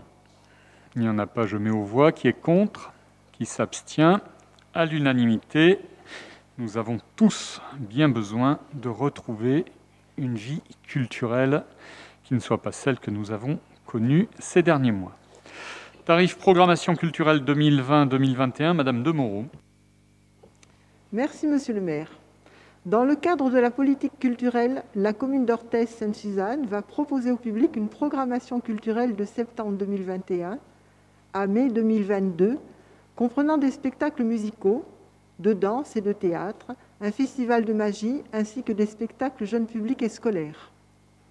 En soutien aux associations qui s'investissent dans cette dynamique culturelle, la commune engagera des partenariats qui feront l'objet de conventions précisant les tarifs d'accès aux spectacles. Compte tenu du report de plusieurs spectacles résultant de la crise sanitaire, il est proposé de maintenir les tarifs adoptés pour la saison 2020-2021, à savoir, vous avez effectivement les tarifs qui s'affichent. Je ne vais pas tout vous lire, n'est-ce pas? Dans le cadre des actions culturelles créées par la commune, le service culturel garde la possibilité de réserver des places de spectacle gratuites pour des publics ciblés, élus municipaux, partenaires, producteurs, employés communaux, professionnels du spectacle vivant et à raison d'une place par spectacle. En fonction des taux de remplissage des salles de, spectacle, la commune se réserve le droit de limiter le nombre de places au tarif groupe réduit, groupe scolaire et est exonéré. Mode de paiement. Les modes de règlement suivants sont autorisés pour le paiement des billets de spectacle, espèces, chèque à l'ordre de la régie animation spectacle, carte bancaire. La billetterie des saisons peut, pour la vente des billets à certains spectateurs, donner des mandats à des centrales de réservation de billets en ligne. Les tarifs des billets proposés peuvent être augmentés du montant de la commission prise par le prestataire. Le jour des spectacles au théâtre, Francis Planté et les spectacles programmés hors les murs, la décentralisation de la billetterie sur place par un agent régisseur, est autorisée une heure avant le début du spectacle. Après en avoir délibéré, le conseil municipal approuve cette grille de tarifs. Bien. Y a-t-il des questions? Il n'y en a pas. Nous passons aux voix. Qui est contre? Qui s'abstient? À l'unanimité. Convention de résidence de la compagnie Groupe 18, Madame Boubarne. Merci, Monsieur le maire. Dans le cadre de son travail de création, la compagnie de théâtre Groupe 18 sollicite la commune d'Orthez-Sainte-Suzanne pour la réalisation d'une résidence d'artistes lui permettant de travailler son nouveau spectacle Habit. Dans le cadre de son soutien à la création contemporaine et compte tenu de l'intérêt suscité par la compagnie dans son engagement artistique, la commune d'Orthez-Sainte-Suzanne accepte cette demande de résidence qui se déroulera du samedi 18 septembre 2021 au dimanche 26 septembre 2021 inclus au théâtre Francis Planté dans les conditions techniques et financières détaillées dans la convention ci-jointe. Après en avoir délibéré, le conseil municipal autorise monsieur le maire à signer la convention de résidence avec la compagnie de théâtre Groupe 18. Merci. Y a-t-il des questions? Madame Musel?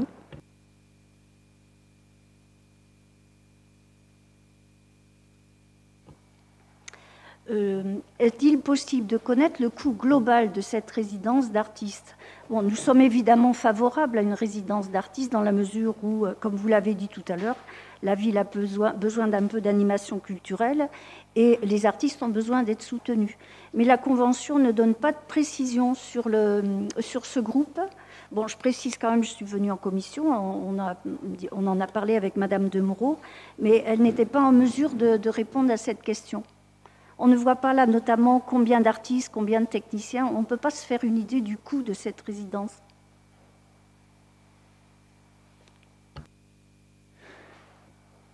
Et nous ne pouvons pas vous le donner non plus ce soir, puisque au-delà de la mise à disposition euh, des locaux, euh, des fluides qu'il faudrait calculer au prorata strict, il y a aussi des frais qui sont de toute façon engagés par la collectivité qui peuvent être comptés comme tels, c'est-à-dire la présence des régisseurs dans, dans la salle, euh, mais qu'il y ait cette résidence d'artistes ou non, ces frais appartiennent à la commune.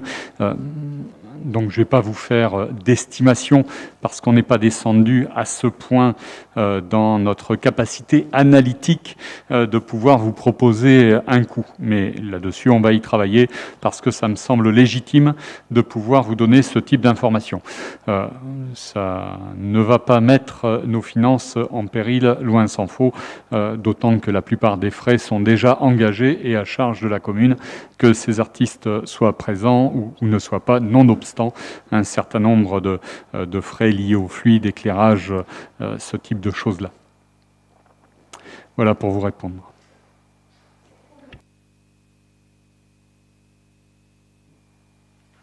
Cette compagnie compte combien d'artistes, on ne le sait pas?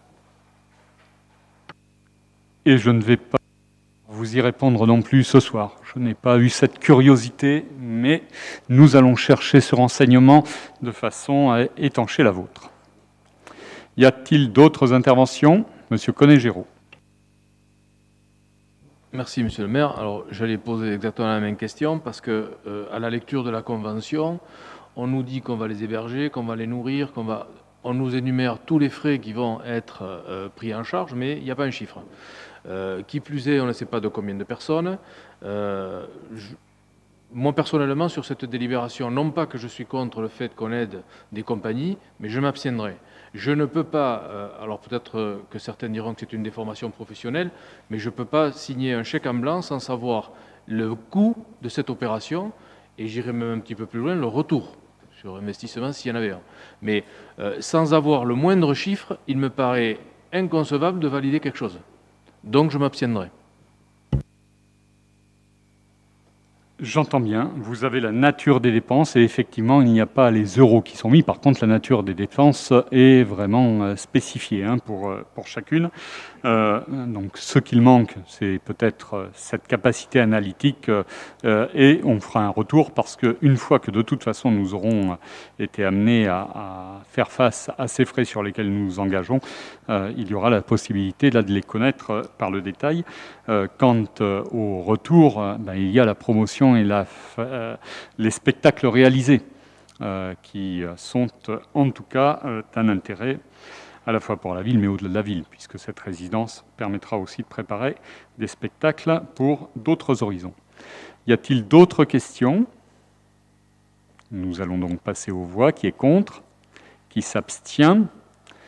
Hmm, Monsieur Delteil, Monsieur Conégéro et Madame Musel, Madame Domblide.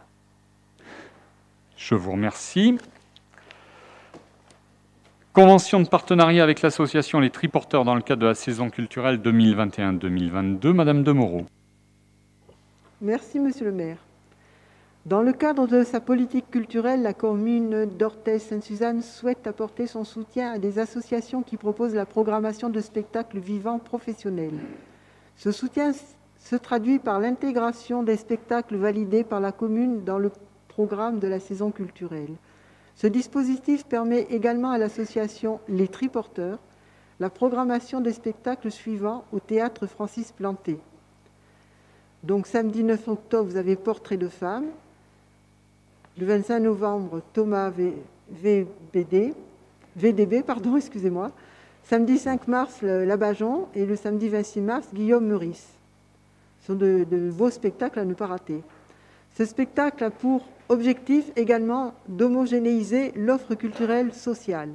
Compte tenu de la mise à disposition des moyens, humains, techniques et financiers municipaux précisés dans l'article 2 de la présente convention, la commune d'Ortel-Sainte-Suzanne se réserve le droit de limiter le nombre de spectacles dans sa programmation sans en avoir à se justifier auprès d'associations qui solliciteraient le dit partenariat.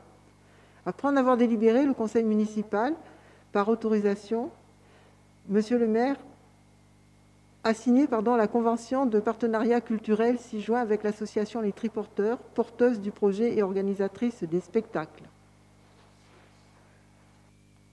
Merci. Nous passons aux voix qui est contre, qui s'abstient? À l'unanimité. Madame Demereau, signature de la convention de mandat pour la vente d'événements dans le réseau Ticketnet, comme chaque année. Merci, monsieur le maire.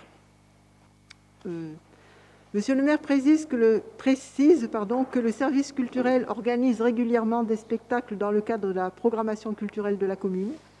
Afin de développer cette politique de programmation culturelle, monsieur le maire propose de diversifier les points de vente des billets d'entrée aux différents spectacles. À cet effet, l'entreprise Ticketnet propose de prendre en charge une partie de la billetterie des spectacles programmés dans le cadre de la programmation culturelle, septembre 2021, mai 2022. En appui sur le réseau de partenaires et sur Internet, pour cela, il édite ses propres billets et perçoit une commission sur les billets vendus dont le montant est précisé dans le projet de convention si annexé. La somme correspondante aux billets vendus par Ticketnet est réservée à la commune par chèque après la date du spectacle concerné. De son côté, la mairie d'Orthez continue à gérer sa propre billetterie. Ce partenariat présente plusieurs avantages.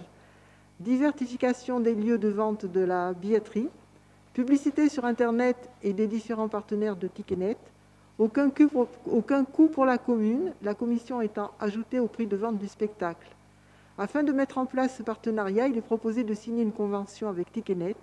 Celle-ci prévoit que chaque spectacle fasse l'objet d'un objet d'édition de billetterie précisant la nature du spectacle, la date et l'horaire les tarifs ainsi que les nombres de places mises en vente. Après en avoir délibéré, le conseil municipal autorise Monsieur le maire à signer la convention avec Ticketnet.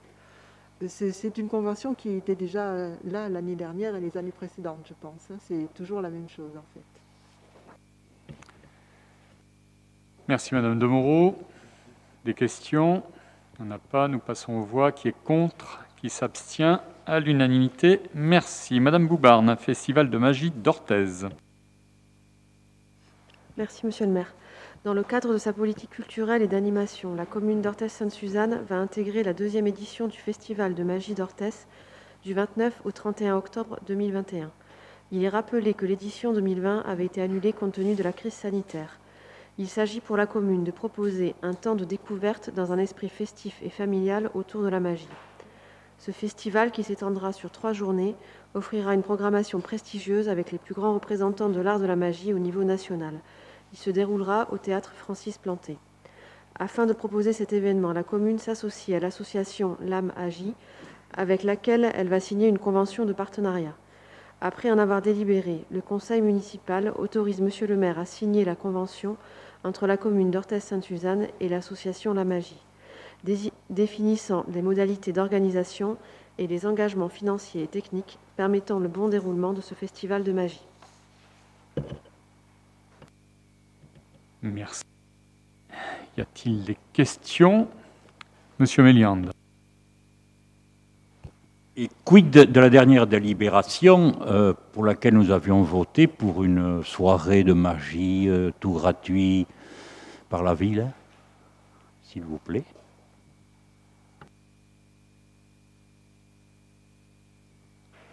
Pardon? Euh, Répétez la question parce que je n'ai pas saisi la totalité de la formulation. Nous avons voté dernièrement une délibération pour une soirée de magie. Il y, a, au dernier conseil municipal, je crois. Non, non, non. Il n'y a, pas si longtemps que ça. Non, non, c'était euh, juste après le Covid. Là, mais il n'y a pas si longtemps que ça, il y a 4 ou 5 mois.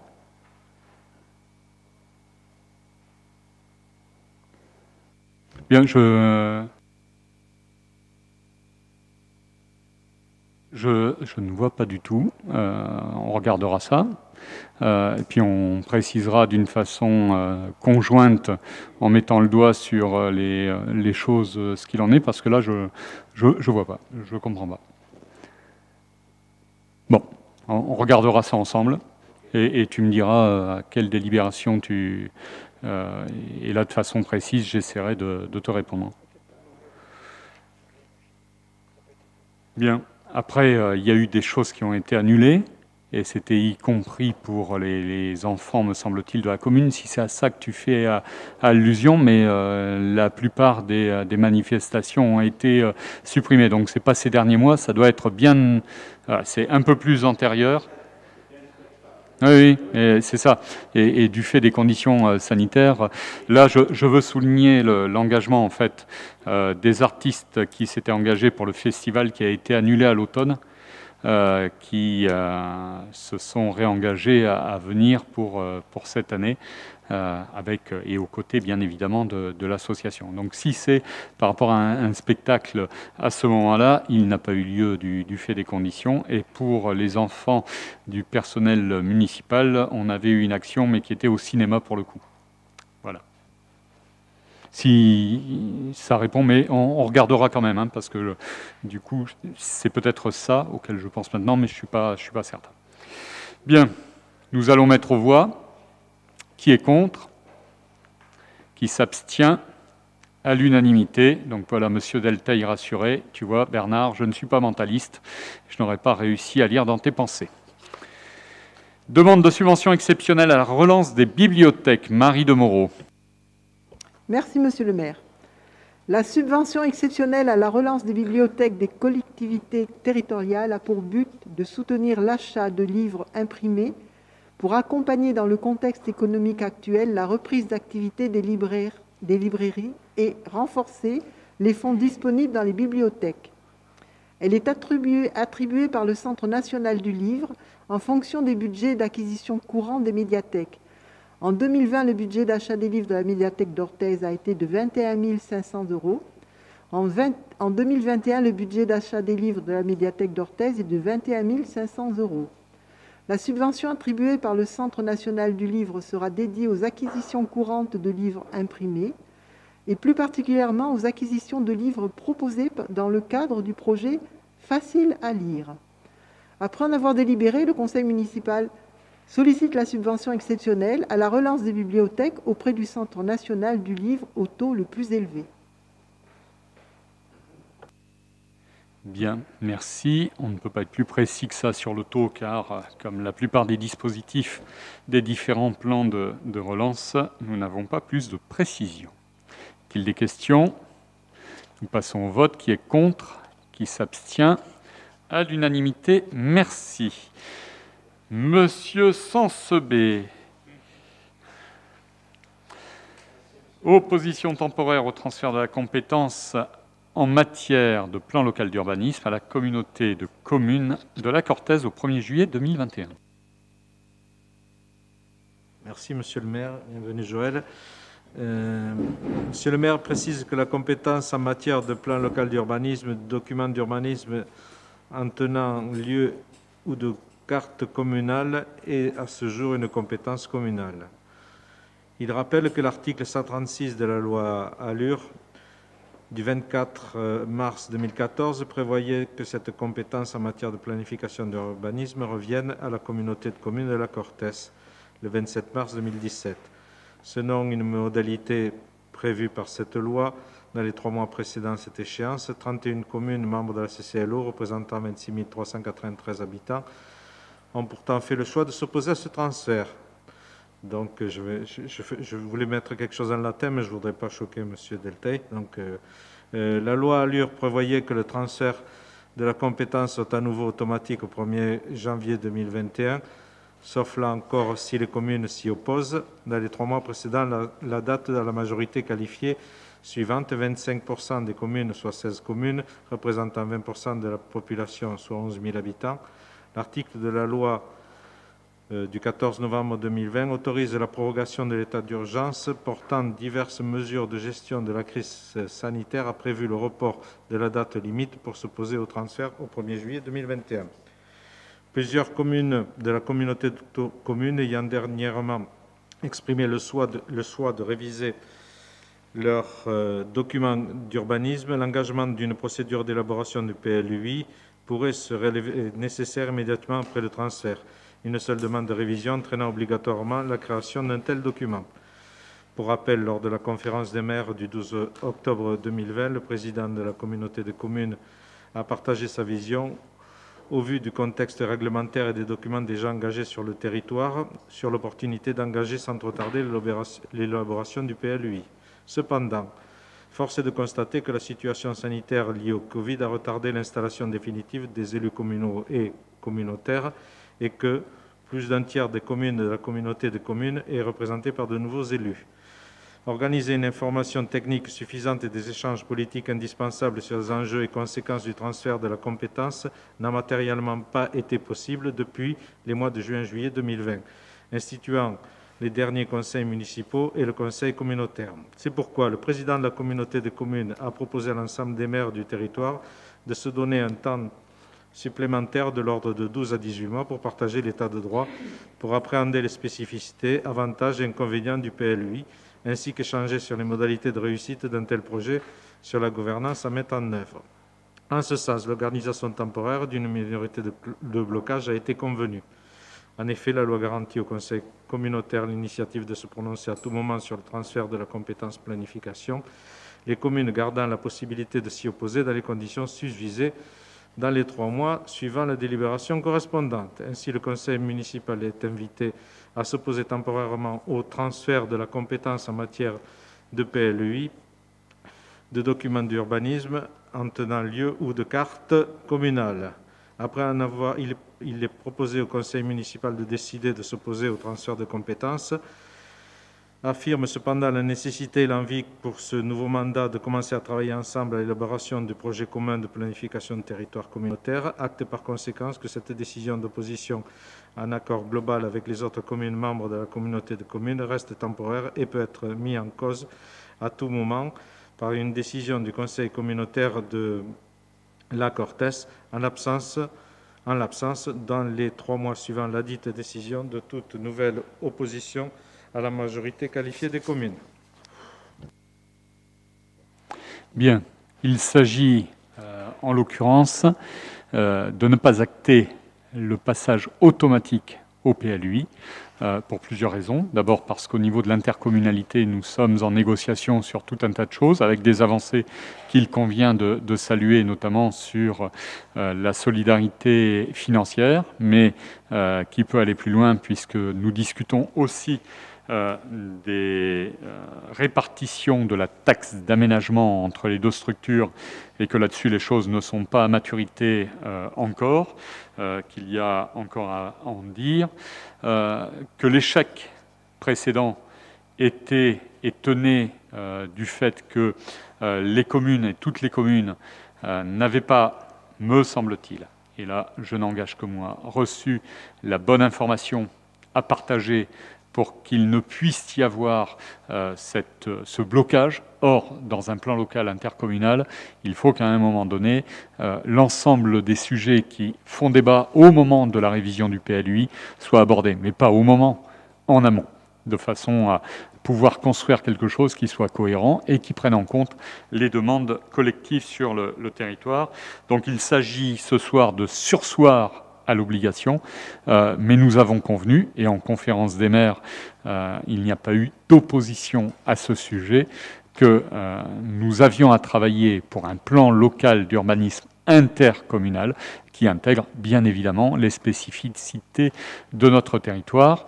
J'ajoute que, en ce qui nous concerne, nous avons intérêt à pouvoir conserver pour l'instant notre plan local d'urbanisme, parce que la mise en place d'un PLUI, ça va demander du temps à mon avis, il y en a au moins pour cinq ans de façon à pouvoir le concevoir, et que tant que nous gardons la main sur notre PLUI, nous avons la possibilité d'y apporter des modifications, le cas échéant, et y compris avec un certain nombre de, projets à venir euh, sur notre territoire. Voilà ce que je voulais donner en complément. Monsieur Delteil.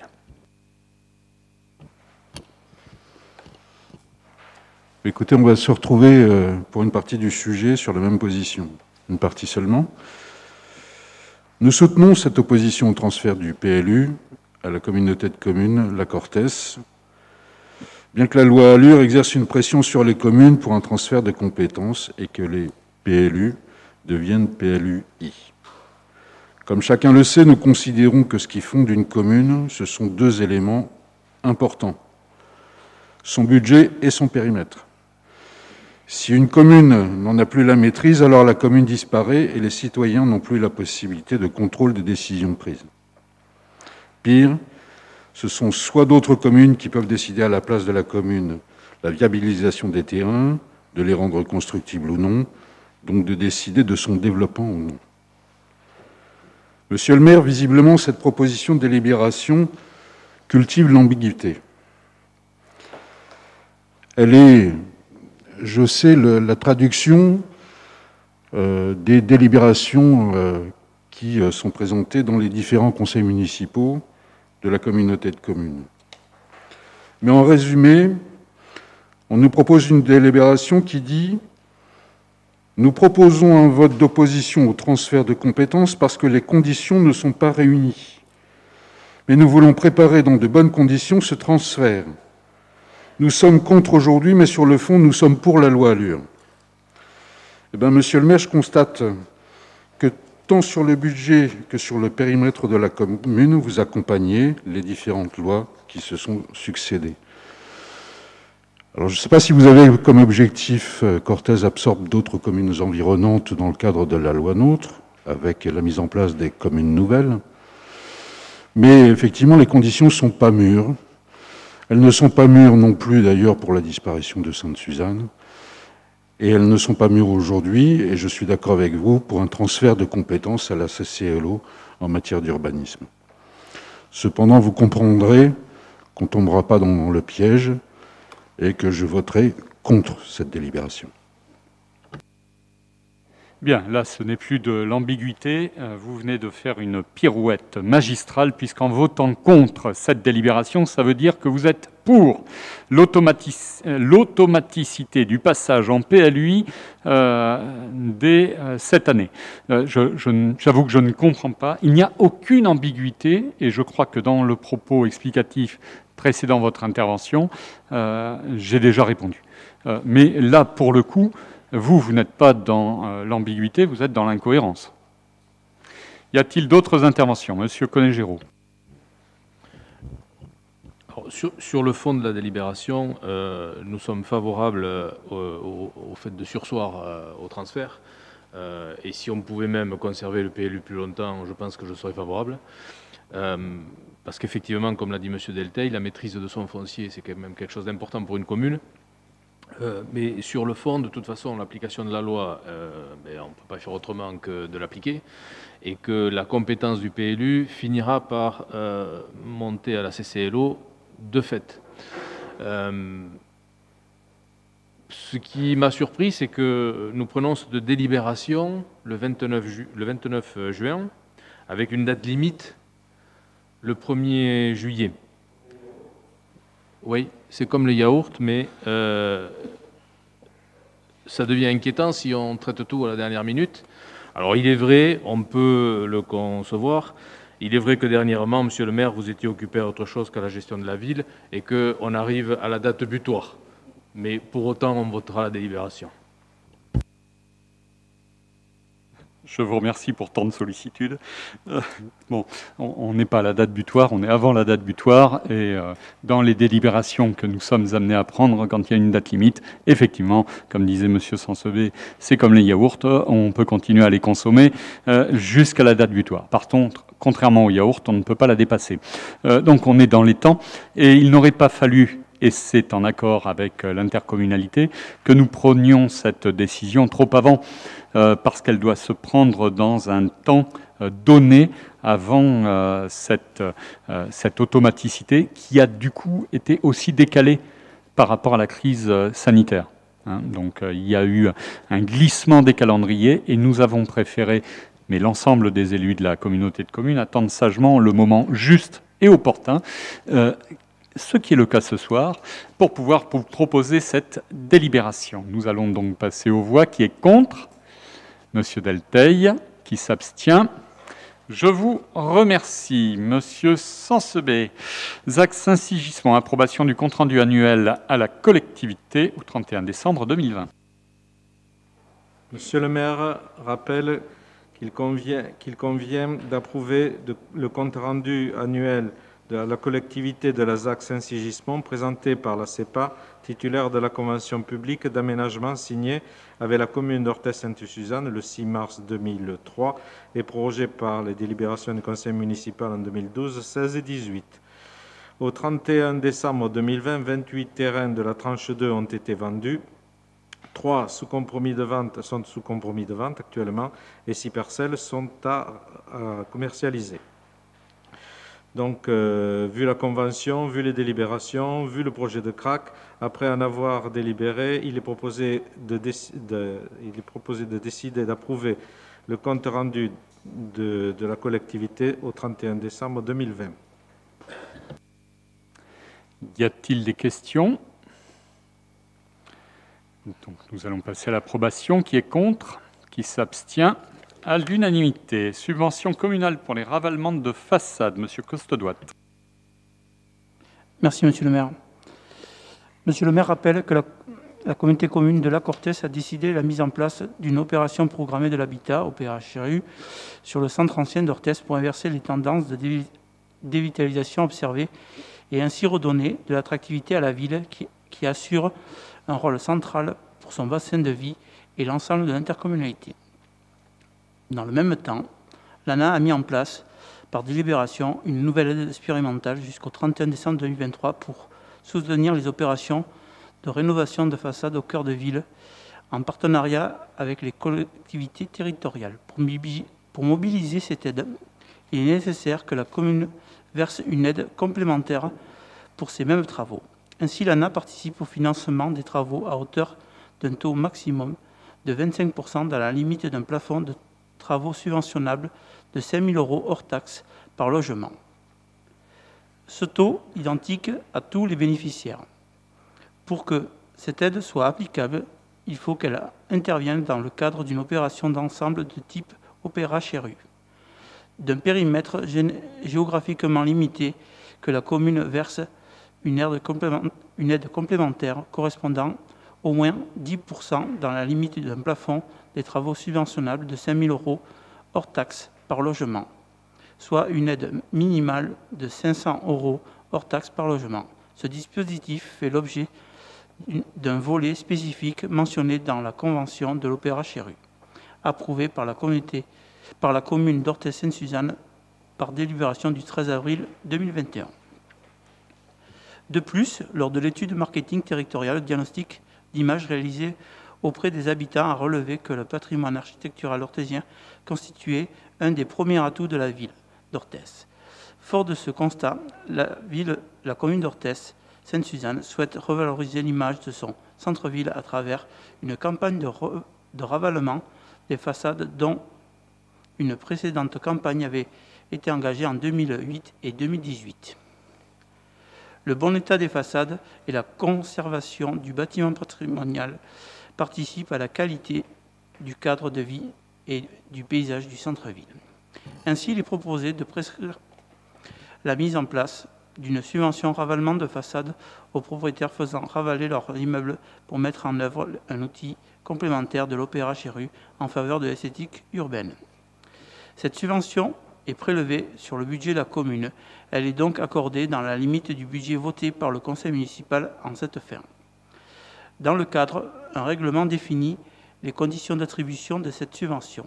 Ce dispositif sera applicable en même temps que l'OPH, c'est-à-dire dès la signature de la convention OPH.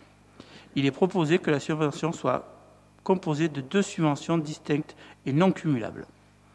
Une première subvention, ravalement de façade, complémentaire à l'aide expérimentale de l'ANA, porte sur l'immeuble situé dans les périmètres de l'OPRHRU, soit le secteur 1, ville historique de la VAP.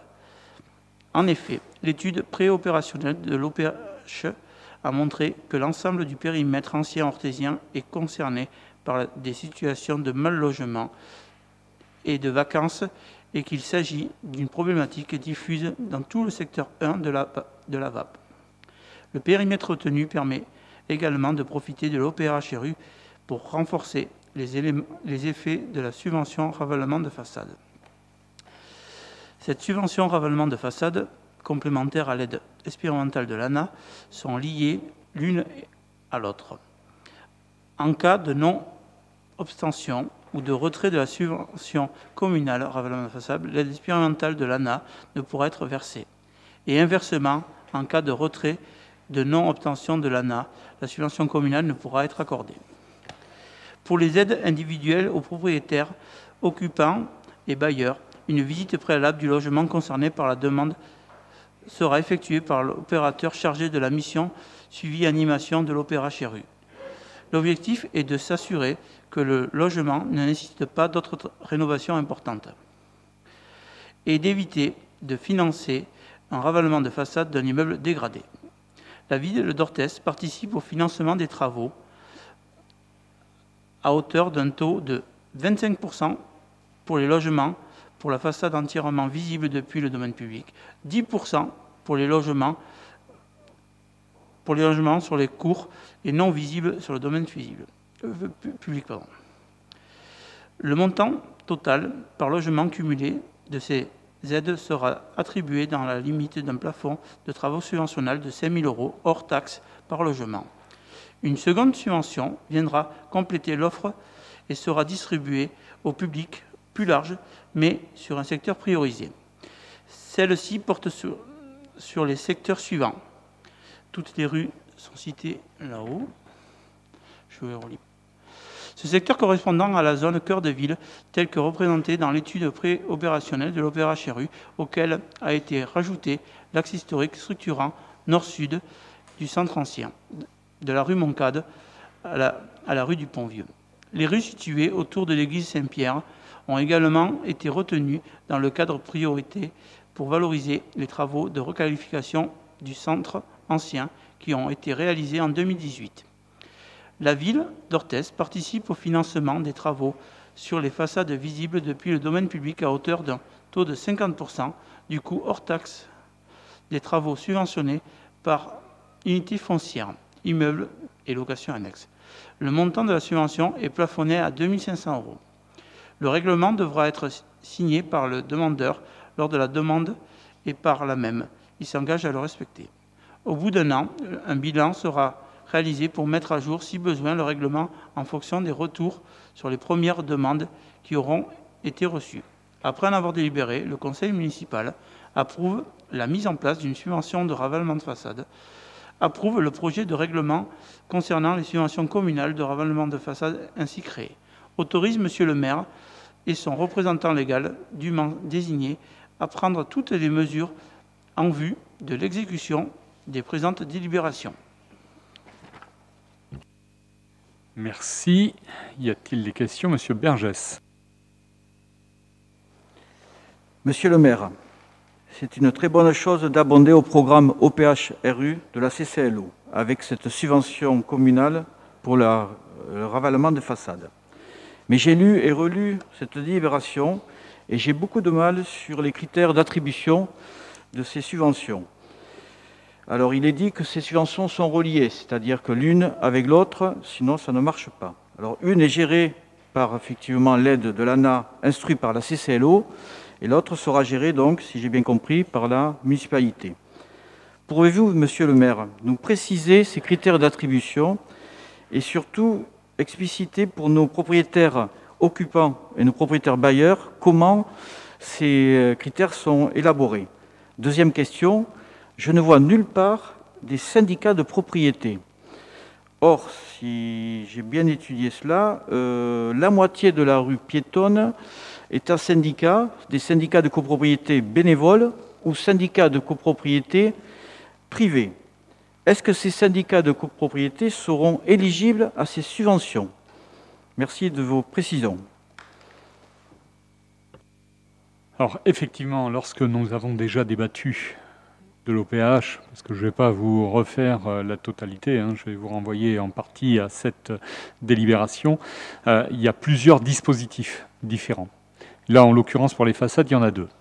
Soit euh, l'opération de rénovation du bâtiment, à condition que les logements soient ensuite avec un loyer conventionné, seront, pourront être éligibles aux aides de l'ANA dans son protocole expérimental, mais à condition que ça s'accompagne également d'une rénovation thermique du bâtiment. Donc ce n'est pas simplement euh, une, une, opportunité pour ne faire qu'un toilettage de surface, c'est d'ailleurs précisé dans la délibération, mais bel et bien pour reconquérir un habitat de qualité en centre-ville.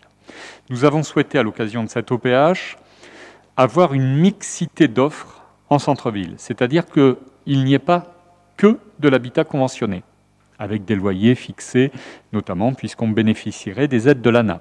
Donc ça, c'est 5% d'économie d'énergie euh, supplémentaire. Enfin, il y a, tout, euh, euh, ce genre de, de critères.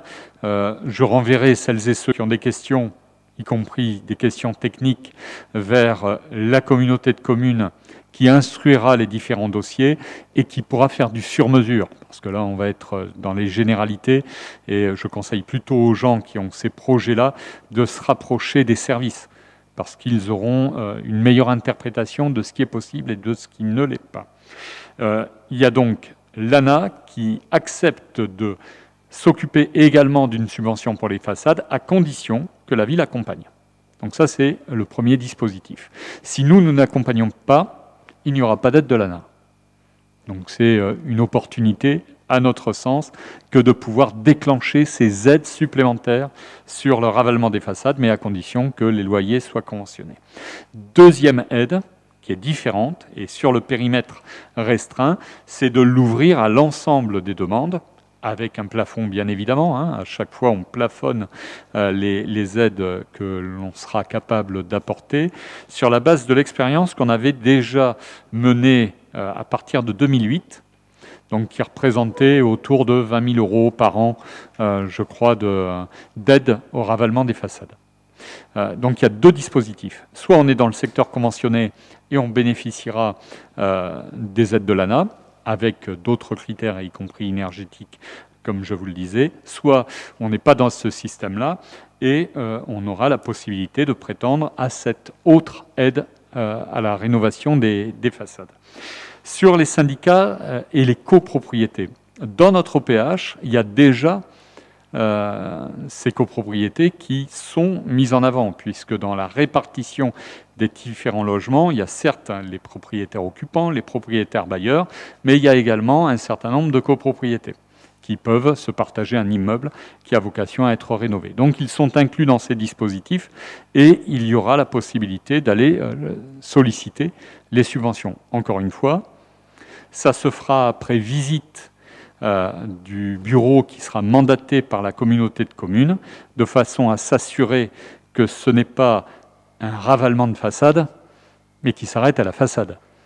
Pour nous, l'objectif euh, de la ville, c'est de reconquérir des logements et des logements de qualité. Et comme on parlait tout à l'heure des PLU et de la nécessité de réduire les impacts sur les, les extérieurs. Le seul endroit où on a cette possibilité est d'en regagner un certain nombre. Hein. Souvenez-vous, c'est plusieurs centaines sur les, les, cinq ans, avec 3 millions d'euros d'aide et la ville à travers cette délibération, apportera la sienne, soit pour déclencher les aides de l'ANA, soit aussi pour rénover les façades, ce que nous avions fait dès 2008, sans attendre qu'il y ait des aides complémentaires. On espère déclencher un effet d'aubaine, et on sait qu'il y a déjà un certain nombre de dossiers qui euh, sont en attente. J'ai pas trop de crainte en termes budgétaires pour cette année, pour aller au fond, euh, au fond des choses, puisque le temps que les dossiers soient déposés, instruits, euh, on va avoir une lecture vers la fin d'année et le temps que les factures soient réglées et que les propriétaires reviennent vers nous pour faire valoir leurs droits à subvention, on risque d'avoir à, verser peut-être dans les deux derniers mois si les choses vont très vite, ce qui nous permettra en tout cas d'anticiper budgétairement pour l'année prochaine en fonction du nombre de dossiers éligibles. D'autres questions? Monsieur Conégéraud. Merci, monsieur le maire. Alors, outre toutes euh, les hum, données techniques que vous venez d'aborder, euh, moi, je voudrais revenir juste et inviter euh, tous les orthésiens concernés à se saisir de cette opération. S'il est vrai qu'une collectivité a pour devoir d'impulser des choses, de mettre en place des opérations et de, oui, et de donner envie de faire des choses, il n'en demeure pas moins vrai qu'on va travailler sur du domaine privé et que euh, ce sont bien les propriétaires privés qui doivent se saisir de tout ça pour faire en sorte que notre centre-ville, un, soit un petit peu plus esthétique, deux, de logements de qualité, et malgré toutes les opérations et les qualités des opérations qu'une collectivité pourra mettre en place, elle ne pourra avoir de la valeur que si chacun des propriétaires privés s'en saisit.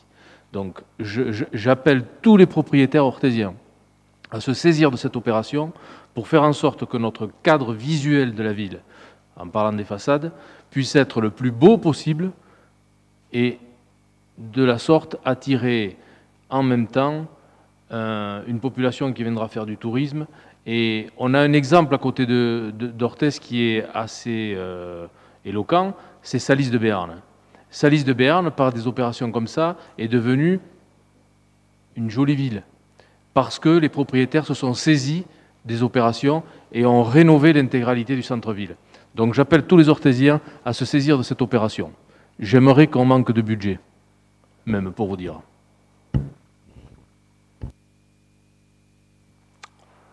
On fera face. Pas d'autres interventions. Je mets au bois qui est contre qui s'abstient à l'unanimité. Monsieur Carrère, aménagement d'un giratoire, boulevard Charles de Gaulle, acquisition d'une portion de parcelle cadastrée, section AK 116, auprès de l'Office 64. Merci, monsieur le maire. La communauté commune La Cortès, en lien avec la commune d'Orthez-Sainte-Suzanne, souhaite réaliser des travaux de création d'un carrefour giratoire au croisement de l'avenue Francis Jam et du boulevard Charles de Gaulle. Dans cette perspective, la CCLO a fait part de la nécessité pour la commune d'Orthez-Sainte-Suzanne d'acquérir environ 172 mètres carrés de la parcelle cadastrée, section AK numéro 116, appartenant à l'Office 64. Lors de son conseil d'administration, en date du 15 juin 2021, l'Office 64 a délibéré et décidé le principe de cession de cette bande de terrain d'environ 172 mètres carrés à l'euro symbolique dont il fera abandon. Après en avoir délibéré, le conseil municipal autorise Monsieur le maire à acquérir environ 172 mètres carrés de la parcelle cadastrée, section AK numéro 116, appartenant à l'Office 64. Autorise Monsieur le maire à signer l'acte authentique ainsi que tout document se rapportant à cette affaire. Précise que tous les frais relatifs à l'opération seront à la charge de la commune. Bien, je vous remercie. Je crois que c'est un équipement qui était annoncé depuis des années et qu'il n'est que temps que nous puissions le réaliser. Euh, moi, je veux saluer, euh, on a eu quelques réunions de travail pour le coup avec quelques-uns ici, mais je veux saluer le, travail de, qualité réalisé par les services de la CCLO. euh, y compris par rapport au, trottoir et à la sécurisation euh, de, ce lieu-là. Et remercier par là même aussi l'Office 64 qui nous laisse un, bout de terrain qui permettra cette réalisation. Y a-t-il des questions? Nous passons aux voix. Qui est contre? Qui s'abstient? À l'unanimité. Merci. Aménagement d'un giratoire boulevard Charles de Gaulle, acquisition d'une portion de parcelle cadastrée à I-71 auprès de la SCI du Rontin. Monsieur Carrère. Merci, monsieur le maire. La communauté de communes de la Cortès, en lien avec la commune d'Orthez-Sainte-Suzanne, souhaite réaliser des travaux de création d'un carrefour giratoire au croisement, de l'avenue Francis Cham et du boulevard Charles de Gaulle. Dans cette perspective, la CCLO a fait part de la nécessité, pour la commune d'Orthez-Sainte-Suzanne d'acquérir la parcelle cadastrée, section AL numéro 71, appartenant à SCI du Rontin, d'une superficie de 185 mètres carrés. M. Philippe Lafont, représentant de la SCI du Rontin, a donné son accord pour la cession de cette parcelle à la commune à titre gratuit. Après en avoir délibéré, le conseil municipal autorise M. le maire à acquérir la parcelle cadastrée, section A numéro 71, appartenant à la SCI du Rontin d'une superficie de 185 mètres carrés à titre gratuit. Autorise M. le maire à signer l'acte authentique ainsi que tout le document sera porté à cette affaire précise que tous les frais relatifs à l'opération seront à la charge de la commune. En l'occurrence, il s'agit de remettre une parcelle du domaine privé dans le domaine public, puisque sur cette parcelle, vous verrez sur le plan que la route y passe actuellement. ça permet, avec ce genre de dossier, de remettre les choses un peu dans l'ordre. Des questions? Nous passons aux voix qui est contre, qui s'abstient à l'unanimité. Merci. Convention de cométrise d'ouvrage visant à la réparation et au confortement du pont d'Orthez-Sainte-Suzanne et traitement du barrage des versoirs aval sur le La. Autorisation de signature, Monsieur Dupouille. Merci, Monsieur le maire. Monsieur le maire rappelle que le pont qui enjambe le La porte la voie communale dite de la Carrère, propriété communale à Sainte-Suzanne. La communauté de communes de la Cortèze intervient en sa qualité de gestionnaire de l'ouvrage au titre de sa compétence voirie. Un barrage des versoirs, propriété actuelle de la commune d'Orthez-Sainte-Suzanne, se situe 24 mètres en aval en lien avec un ancien moulin qui n'est plus exploité. La dernière inspection détaillée des ouvrages avec visite subaquatique réalisée en août 2019 souligne une dégradation très marquée de ces deux ouvrages en raison de leur proximité et de l'interdépendance qui en résulte, il convient de traiter de manière coordonnée ces deux ouvrages en tant en phase conception qu'en phase travaux.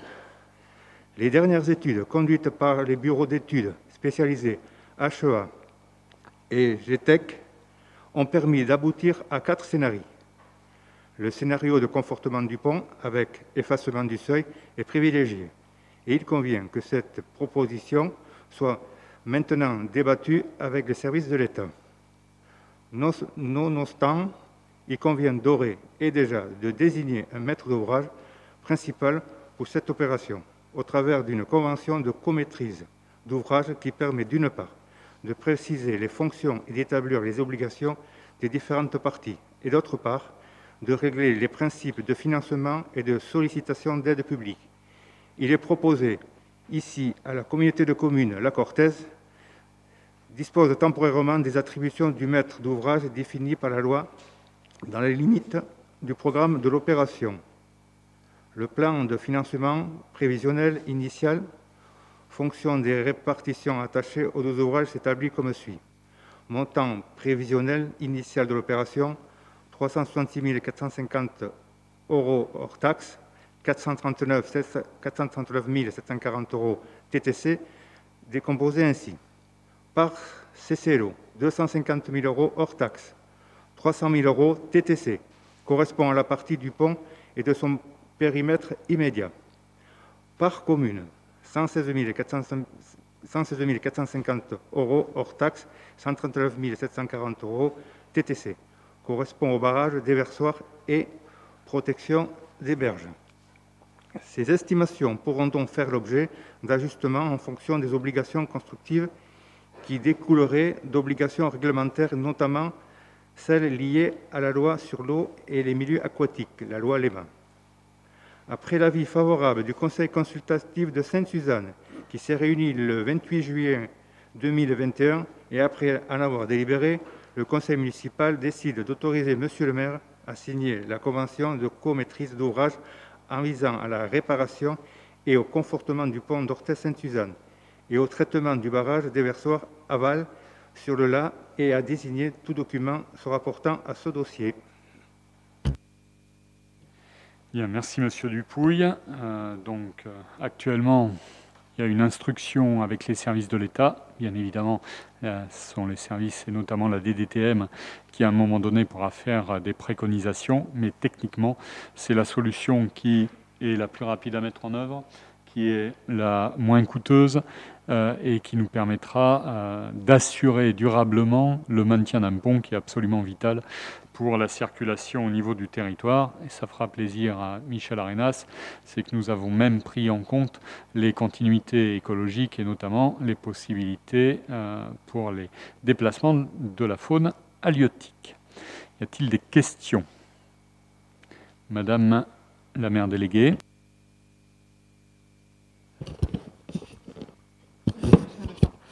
Oui, monsieur le maire, euh, merci de me passer la parole. Juste, euh, je me trouve, euh, je trouve un peu bizarre qu'il n'y ait pas sur la convention la signature de la maire déléguée. sur la, précédente qui concernait Sainte-Suzanne, j'étais, j'étais dessus. Voilà, c'est tout ce que je voulais dire.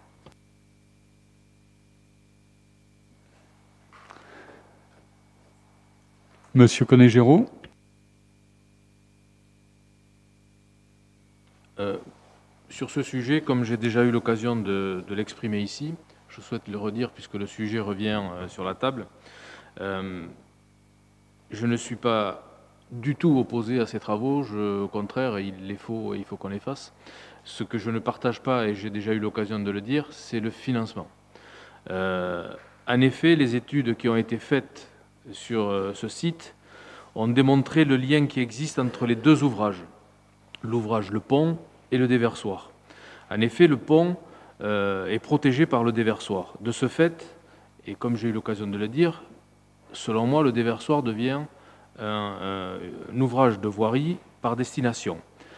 La compétence voirie étant à la communauté de communes, j'aurais trouvé normal et logique que l'intégralité des travaux soit portée par la collectivité euh, CCLO et non pas par la, ville.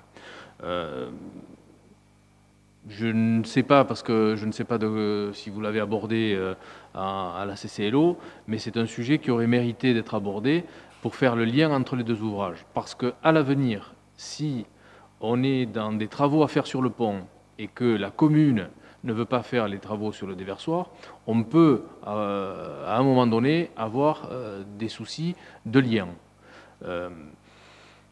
quand bien même il aurait fallu euh, transférer la propriété du déversoir à la communauté de communes. C'est une thèse que j'ai défendue euh, depuis le début.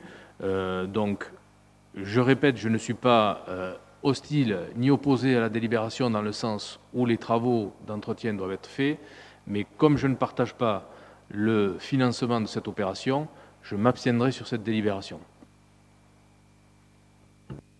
Je vous remercie de partager avec nous le souci euh, de dépenser le, moins possible pour obtenir les, mêmes services. Mais là, il y a un désaccord avec euh, votre interprétation, mais nous l'avions déjà marqué précédemment, euh, du fait des compétences liées aux uns et aux autres. Et le pont et le déversoir, même si vous l'intégrez comme une voirie par destination, n'en est pas une. Donc c'est la propriété de la commune sur laquelle nous avons à agir et euh, parallèlement sur les confortements, là où il y a un, accord et je dirais même une complicité, puisque nous travaillons ensemble entre l'intercommunalité et nous, c'est de faire en sorte de euh, choisir en termes de, de répartition, au-delà euh, des compétences, les sujets sur lesquels nous serons éligibles au maximum de subventions également, parce que ça permet de prendre en compte les finances des uns et des autres. Mais c'est lié bien évidemment aux compétences euh, que nous assumons. S'il n'y a pas d'autres questions, qui est contre Qui s'abstient Madame Musel, Monsieur Conégéro. Je vous remercie. Je ne vois pas la... Ah, Pierrette et euh, Bernard, je n'ai pas vu lever le, doigt. Donc Madame Domblide s'abstient. Et toi? D'accord, merci. Monsieur Sansebé, convention d'intervention de l'Agence publique de gestion locale, travaux de réseau du giratoire Charles de Gaulle. Considérant les besoins de la commune en matière d'accompagnement technique et d'administration administratif afin de mener à bien les travaux sur le réseau d'eau potable et d'assainissement en prévision des travaux du giratoire Charles de Gaulle menés par la communauté de communes de la Cortès, il est proposé de recourir au service de la PGL pour effectuer les prestations suivantes. La maîtrise d'œuvre complète des travaux de réseau d'eau potable, dossier de consultation des entreprises, 6 demi-journées, analyse des offres, 3 demi-journées, suivi de l'exécution des travaux, 10 demi-journées les études de projets de travaux de réseaux d'assainissement, trois demi-journées. Les conventions d'intervention prévoient que le service voirie et réseau est mis à la disposition de la commune pour des durées respectives de 19 demi-journées pour les travaux d'eau potable et 3 demi-journées pour les travaux d'assainissement. Considérant le coût de la demi-journée de 278 euros pour l'année 2021, le montant des contributions à payer seront respectivement 5 282 euros pour l'eau potable, 834 euros pour l'assainissement, Considérant que les crédits suffisants sont inscrits au budget de l'eau et de l'assainissement pour l'année 2021, après avoir consulté après l'avis favorable du conseil d'exploitation qui s'est réuni le 19 mai 2021 et prêt à en avoir délibéré, il est euh, proposé au conseil municipal d'émettre un avis favorable à l'établissement de deux conventions d'intervention du service voirie et réseau de l'agence publique de gestion locale pour les travaux de réseau d'eau potable et d'assainissement du giratoire Charles de Gaulle, au paiement des contributions relatives à la réalisation de ces prestations pour le montant de 834 euros pour l'assainissement, 5 282 euros pour le potable, et autorise Monsieur le maire à signer ces deux conventions d'intervention. Merci. Y a-t-il des questions? Passons aux voix. Qui est contre? Ah, Mme Domblide. Alors, merci, Monsieur le maire. Ce n'est pas tout à fait une question, mais je profite de cet instant, de cette délibération-là et des prochaines, juste pour. Euh, et je pense que tout le conseil partagera la même chose que moi. Euh, la PGL va vous aider à compter des dossiers administratifs pour des futurs marchés. Euh, je pense que sur ce territoire, il y a beaucoup de personnes en insertion sociale et qui ont besoin, entre autres, d'être insérées vers le pied de l'emploi. Donc j'aimerais bien que dans les futurs marchés de la commune d'Orthez, et je pense que beaucoup en seront d'accord, que la clause sociale figure sur tous ces documents. Euh, je tiens quand même à dire que ça a déjà été fait sur le marché de la régie des eaux et que certains orthésiens ont pu y travailler. Mais je tenais à parler parce qu'il y a plusieurs notifications après, décisions. Il me semble que c'est important quand on a recours à un prestataire de pouvoir le, lui faire inclure ces clauses sociales. Merci. Monsieur Sansebé, qui je pense euh, va dire euh, la chose que je voulais dire. Je, suis tout à fait d'accord avec vous. Donc on l'a fait, comme vous l'avez dit, pour le Rontin. Il euh, faut dire aussi que la plupart des entreprises qu'on contacte ont déjà ça de fait. les plus grandes entreprises de BTP le font déjà. Euh, celle, qu'on a contactée, je veux dire. Peut-être qu'il y a d'autres endroits où ils ne parlent pas la même langue, c'est peut-être pas pareil. Mais en fait, les locales, euh, oui, effectivement. Et euh, c'est une volonté véritable de le faire. Et c'est même le crédit qu'on a eu au Rontin, le département a souligné justement ce, ce fait-là. Et c'est vrai que je suis tout à fait d'accord avec vous. On fera le maximum là-dessus aussi. Et heureusement, ces clauses sont de plus en plus obligatoires. Donc euh, nous ne faisons qu'appliquer, mais euh, à la ville d'Orthez, on les applique depuis longtemps, et bien avant que ce soit obligatoire. Madame Domblide Comme ces clauses aussi sont ouvertes au secteur privé. Donc, euh, petit, hein, quand on entend parler d'OPH, c'est important de pouvoir aussi le signaler. Hein? Merci. Tout à fait, et c'est pris en compte. Y a-t-il d'autres questions? Nous passons donc aux voix. Qui est contre? Qui s'abstient? À l'unanimité. Je vous remercie, Monsieur Sansebé. Convention de délégation de maîtrise d'ouvrage avec la CCLO pour les travaux d'assainissement de l'opération de création du giratoire, du giratoire Charles de Gaulle. Merci. On est toujours dans le même giratoire, donc euh, je ne veux pas en reparler. Euh, les travaux de renouvellement de l'assainissement des eaux usées sont nécessaires puisqu'on va faire intervenir la PGL. Considérant que l'intervention de la CCLO dans le champ de compétences de la Régie des eaux est possible si cette dernière délègue la maîtrise d'ouvrage à la communauté de communes, il est proposé de faire exécuter des travaux d'assainissement à l'entreprise en charge de l'aménagement du giratoire. Une convention est ainsi établie entre la CCLO et la commune d'Orthès. Elle fixera la nature des travaux concernés, le montant de l'opération, les modalités de remboursement et les conditions de réception des travaux. Les travaux programmés ont pour objet le remplacement d'environ 120 mètres linéaires de réseau d'assainissement. Le montant estimatif des travaux relevant de la régie des eaux est de 30 000 euros TTC petit peu plus peut-être. Les sommes correspondantes ont été inscrites au budget primitif 2021 de l'assainissement, après avis favorable du conseil d'exploitation qui s'est réuni le 23 juin 2021, et après en avoir délibéré, il est proposé au, au conseil municipal d'approuver le projet de convention de délégation de maîtrise d'ouvrage et d'autoriser monsieur le maire à signer la convention et toutes les pièces relatives à cette opération. Bien. Merci. Juste avant le vote, euh, souligner que à travers cet ensemble de délibérations, puisque euh, on a eu plusieurs délibérations sur ce sujet, on touche du doigt euh, que dans l'esprit de chacun, il est peut-être simple de créer de temps en temps un aménagement de voirie tel qu'un giratoire, mais on voit l'ensemble des problématiques et des obstacles à surmonter avant qu'ils puissent être réalisés, d'autant que Là, c'est pour la régie, mais d'autres partenaires ont également été euh, sollicités euh, pour éviter d'avoir à recrever euh, la voirie une fois qu'elle est neuve, parce qu'on aurait oublié d'y passer un tuyau ou un câble. J'espère qu'on aura pensé à tout, parce que c'est là aussi un peu d'économie des deniers publics. S'il n'y a pas de questions, je, je mets aux voix qui est contre, qui s'abstient à l'unanimité. Monsieur Sansebé, modification de l'article 262 des statuts de la Régie des eaux. Alors ça, c'est juste un changement de, morceau de phrase.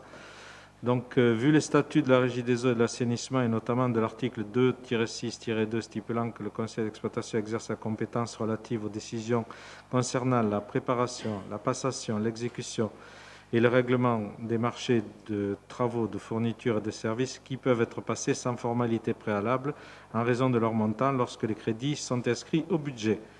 Donc, euh, considérant que les évolutions réglementaires des marchés publics depuis la date de la création de la régie ont, ont évolué, il est demandé de modifier cet article pour être plus près de la réalité.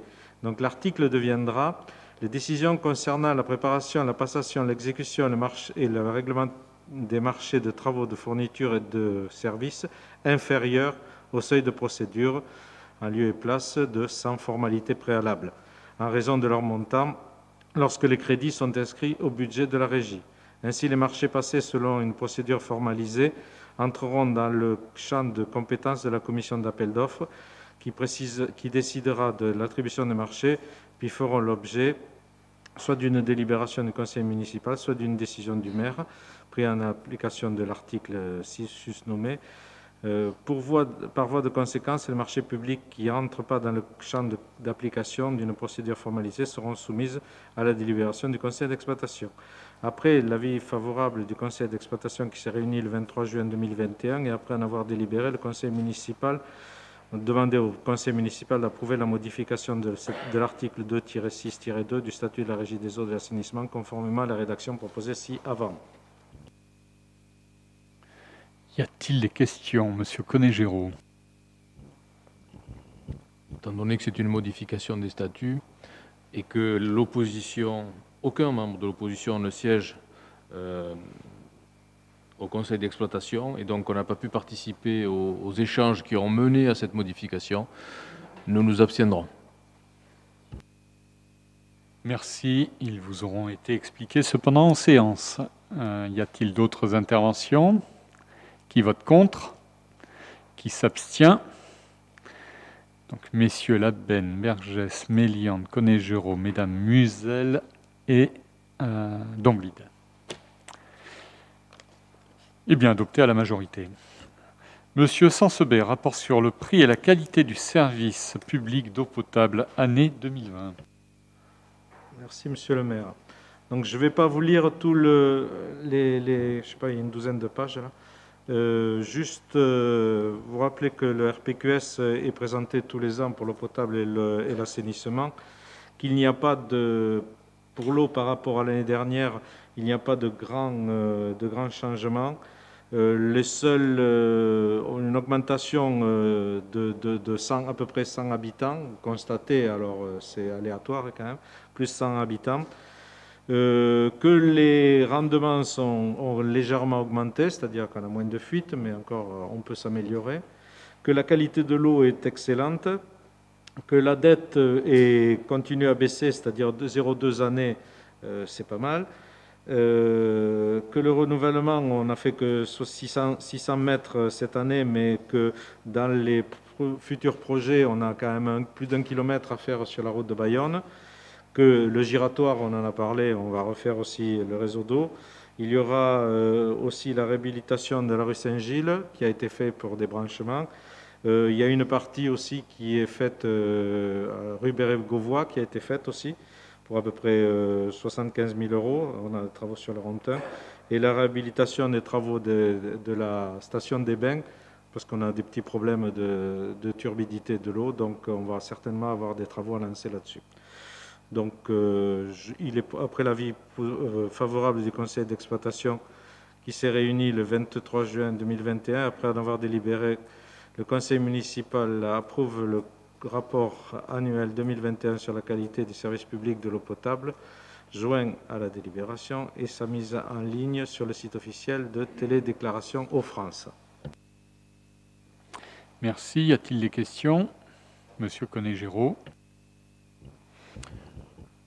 Merci, monsieur le maire. Je, profite d'une délibération où on, vante la qualité de l'eau, ce que je partage. Hein. Euh, et pour euh, revenir sur un point, je me suis rendu compte sur un, réseau social spécialisé un petit peu sur les recrutements, je suis tombé par accident sur un appel à candidature de la Régie des eaux qui cherche un directeur. Donc j'en ai euh, conclu que celui qui en poste s'en va. Euh, est-ce que, monsieur le maire, vous pouvez nous dire où est-ce que vous en êtes de ce recrutement et de ce départ du directeur de la régie? Le départ du directeur de la régie, c'est par voie de mutation sur une autre collectivité, sur un poste qu'il souhaitait. Et euh, vendredi matin, nous avons les auditions des candidats. Donc je ne vous en dirai pas plus, puisque nous ne les avons pas encore ni rencontrés ni auditionnés. Voilà, c'est le jeu. Hein, de nos services avec euh, bien évidemment la liberté encore offerte à la fois aux fonctionnaires et aux contractuels de choisir euh, leur propre carrière, puisque vous en parlez, euh, et j'ai eu l'occasion de, le faire par ailleurs, mais devant vous tous, je veux saluer le, travail de Payot Berger, qui a amené à la fois de l'apaisement et de la qualité dans le traitement des dossiers de la régie des eaux, et euh, je pense que euh, Bernard Méliande euh, sera d'accord avec moi puisqu'il a eu l'occasion de, travailler d'un peu plus près aussi avec lui. Voilà, et nous, lui souhaitons bien évidemment le meilleur pour son avenir professionnel. Y a-t-il d'autres questions? Nous passons aux voix. Qui est contre? Qui s'abstient? Ce rapport est approuvé à l'unanimité. Même chose côté de l'assainissement, Monsieur Sansebé. Ben, ça va être à peu près pareil. Euh, il y a euh, le, volume, euh, le volume facturé est en baisse comme pour l'eau. on pense que c'est dû à la pandémie. le linéaire de collecte est de 82 km, donc 17 km en séparatif. il y a eu 94 tonnes de production de boue par rapport à 102 tonnes l'année précédente. Le tarif euh, type, c'est-à-dire pour 120 mètres cubes, est toujours de 2,16 euros par mètre cube, il n'a pas bougé. Les recettes euh, ont, légèrement augmenté. Euh, la, conformité de notre réseau, elle est de 0%, puisque nous avons toujours beaucoup trop d'unitaires et nous avons les déversoirs d'orage qui font qu'on est pénalisé. Par contre, la conformité de la station d'épuration est de 100%, c'est-à-dire que son fonctionnement est très bon. Le taux de renouvellement est de 1,6 km pour les cinq dernières années. Euh, les travaux du Rontin vont l'augmenter de plus de 2 km, donc ça va, faire une bonne montée. L'inspection de la dette est de 8,9 ans. Euh, ça a augmenté par rapport à l'année dernière puisque nous avons eu un aqua auprès de la Banque des territoires. Donc euh, les travaux en cours sont de, euh, le Rontin pour un peu plus de 2 millions, 2 millions 100. Le séparatif de la route de Bayonne qui va avoisiner les 250 000 euros et les travaux du rond-point de Charles de Gaulle qui sont à peu près de 50 000 euros. Donc après avis du Conseil d'exploitation favorable du Conseil d'exploitation qui s'est réuni le 23 juin 2021 après en avoir délibéré. Le Conseil, il est proposé au Conseil municipal d'approuver le rapport annuel 2020 sur le prix et la qualité des services publics d'assainissement collectif et sa mise en ligne sur le site officiel de télédéclaration aux France. J'ajoute que ces deux rapports ont fait l'objet d'une présentation en, CCSPL, comme euh, le règlement nous le demande, et que ça n'a pas appelé d'observation. Sur euh, cette délibération des interventions, nous passons aux voix. Qui est contre Qui s'abstient? Unanimité. Merci. Monsieur Sansebé, relevé provisoire des résultats de l'exploitation premier semestre 2021, budget de l'eau. Donc, comme tous les, tous, les, tous les six mois, on fait un état. Euh, et comme tous les ans, je vais vous dire pratiquement la même chose, à savoir que les recettes euh, sont à peu près avoisinent presque les 50%, c'est-à-dire à peu près ce qu'il est convenu pour la moitié de l'année. Et les recettes sont de 516 175 euros. Euh, pour les, dépenses d'exploitation, on est à 300 17 000 euros, ce qui représente à peu près 24 euh, de, des, réalisés. Mais il faut savoir que les recettes, euh, on les a, euh, puisqu'on fait payer la, première relève. Et pour les dépenses, il y a les dépenses de personnel, il manque, un mois. Et aussi, les, L'agence de l'eau, nous payons la redevance de l'agence de l'eau, que surtout le gros paquet, c'est vers la fin de l'année. Donc c'est pour ça qu'il y a un gros, plutôt un écart de 24,5% et 42% pour ce qui est des recettes. Donc euh, le 7 juin, ce relevé montre un excédent de 199 076,69 euros. Il n'y a pas lieu de prendre les mesures nécessaires pour établir l'équilibre du budget de l'eau. Après l'avis favorable du conseil d'exploitation qui s'est réuni le 23 juin et après en avoir délibéré, il proposé au conseil municipal d'approuver le relevé provisoire des, résultats d'exploitation du budget de l'eau si après annexé. Merci. Des interventions? Nous passons aux voix. Qui est contre? Qui s'abstient? Deux abstentions. Messieurs Bergès et Labenne. Merci. Relevé provisoire des résultats de l'exploitation premier semestre 2021, budget de l'assainissement. Monsieur Sansebé. C'est exactement la même chose. Euh, les dépenses euh, s'élèvent à 322 318,20 euros, ce qui représente 30% de la réalisation. C'est exactement les mêmes effets. Les, charges de personnel ainsi que les, redevances collectées pour l'agence de l'eau qui n'ont pas été reversées. Pour ce qui est des recettes, eh bien, 42%, 479 475,43 euros, qui correspondent euh, en grande partie aux ventes d'eau, euh, enfin, aux ventes d'eau, à, la collecte, euh, le relevé qui a été fait, le, semestriel et le premier trimestriel. Le, 7 juin, ce, relevé montre un excédent d'exploitation de 157 157,23 euros. Il n'y a pas lieu de prendre les mesures nécessaires pour établir l'équilibre du budget assainissement. Après avis favorable du conseil d'exploitation qui s'est réuni le 23 juin 2021 euh, et après en avoir délibéré, proposé au conseil municipal d'approuver le relevé provisoire des résultats d'exploitation du budget assainissement si après annexé. Merci. Y a-t-il des questions? Il n'y en a pas. Nous passons aux voix. Qui est contre? Qui s'abstient? Messieurs Bergès et la benne à la majorité. Monsieur Sansebé, création d'un poste d'agent technique de droit privé de la régie de l'eau et de l'assainissement.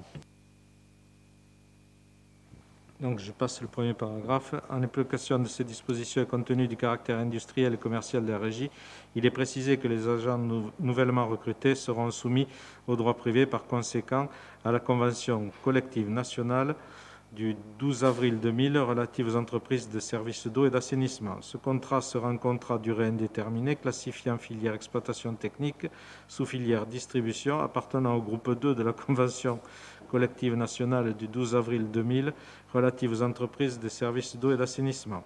Compte tenu de la nécessité de pouvoir un poste d'agent technique au sein du service opérationnel suite à la réorganisation des services de la Régie des eaux d'assainissement et considérant les besoins supplémentaires en matière d'entretien et d'exploitation des ouvrages, il est proposé au conseil municipal la création d'un poste au sein du service opérationnel d'agent technique de droit privé à compter du 1er septembre 2021.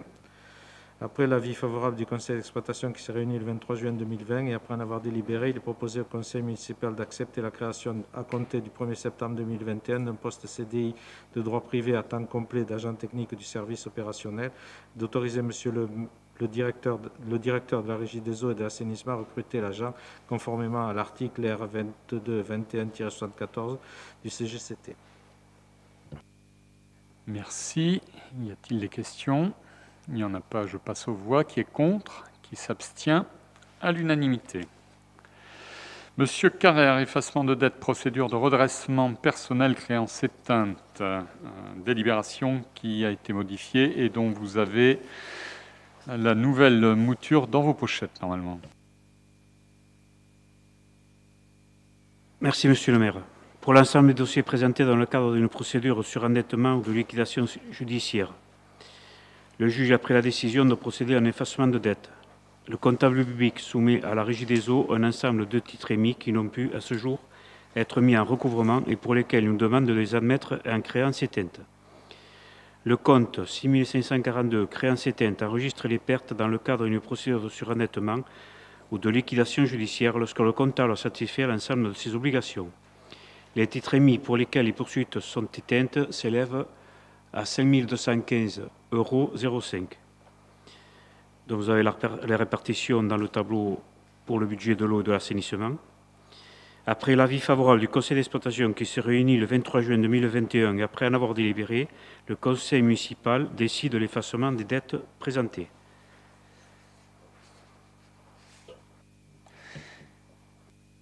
Merci. Des questions? Passons aux voix. Qui est contre Qui s'abstient à l'unanimité.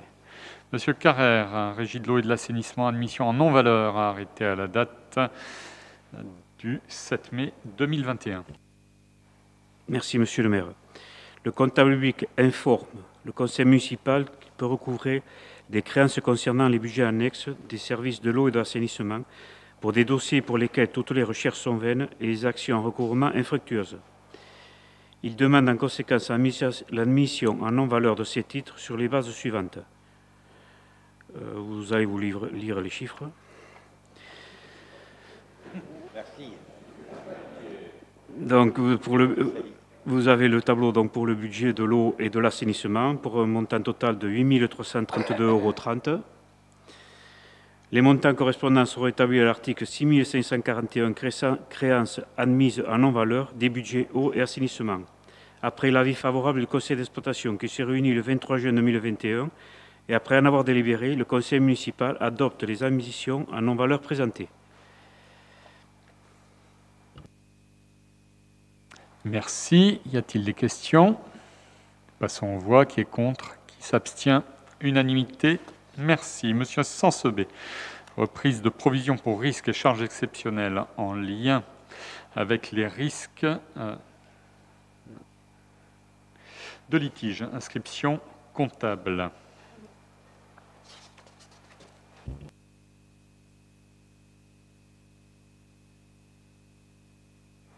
C'était trop vite, pour une fois. Le CGCT et l'instruction budgétaire M49 prévoient de provisionner les risques dès qu'ils sont constatés. En 2007, la Régie de l'assainissement a décidé de constituer une provision pour risque de montant de 105 000 euros au titre de risque de litige concernant l'aménagement du site de la papeterie des Gaves.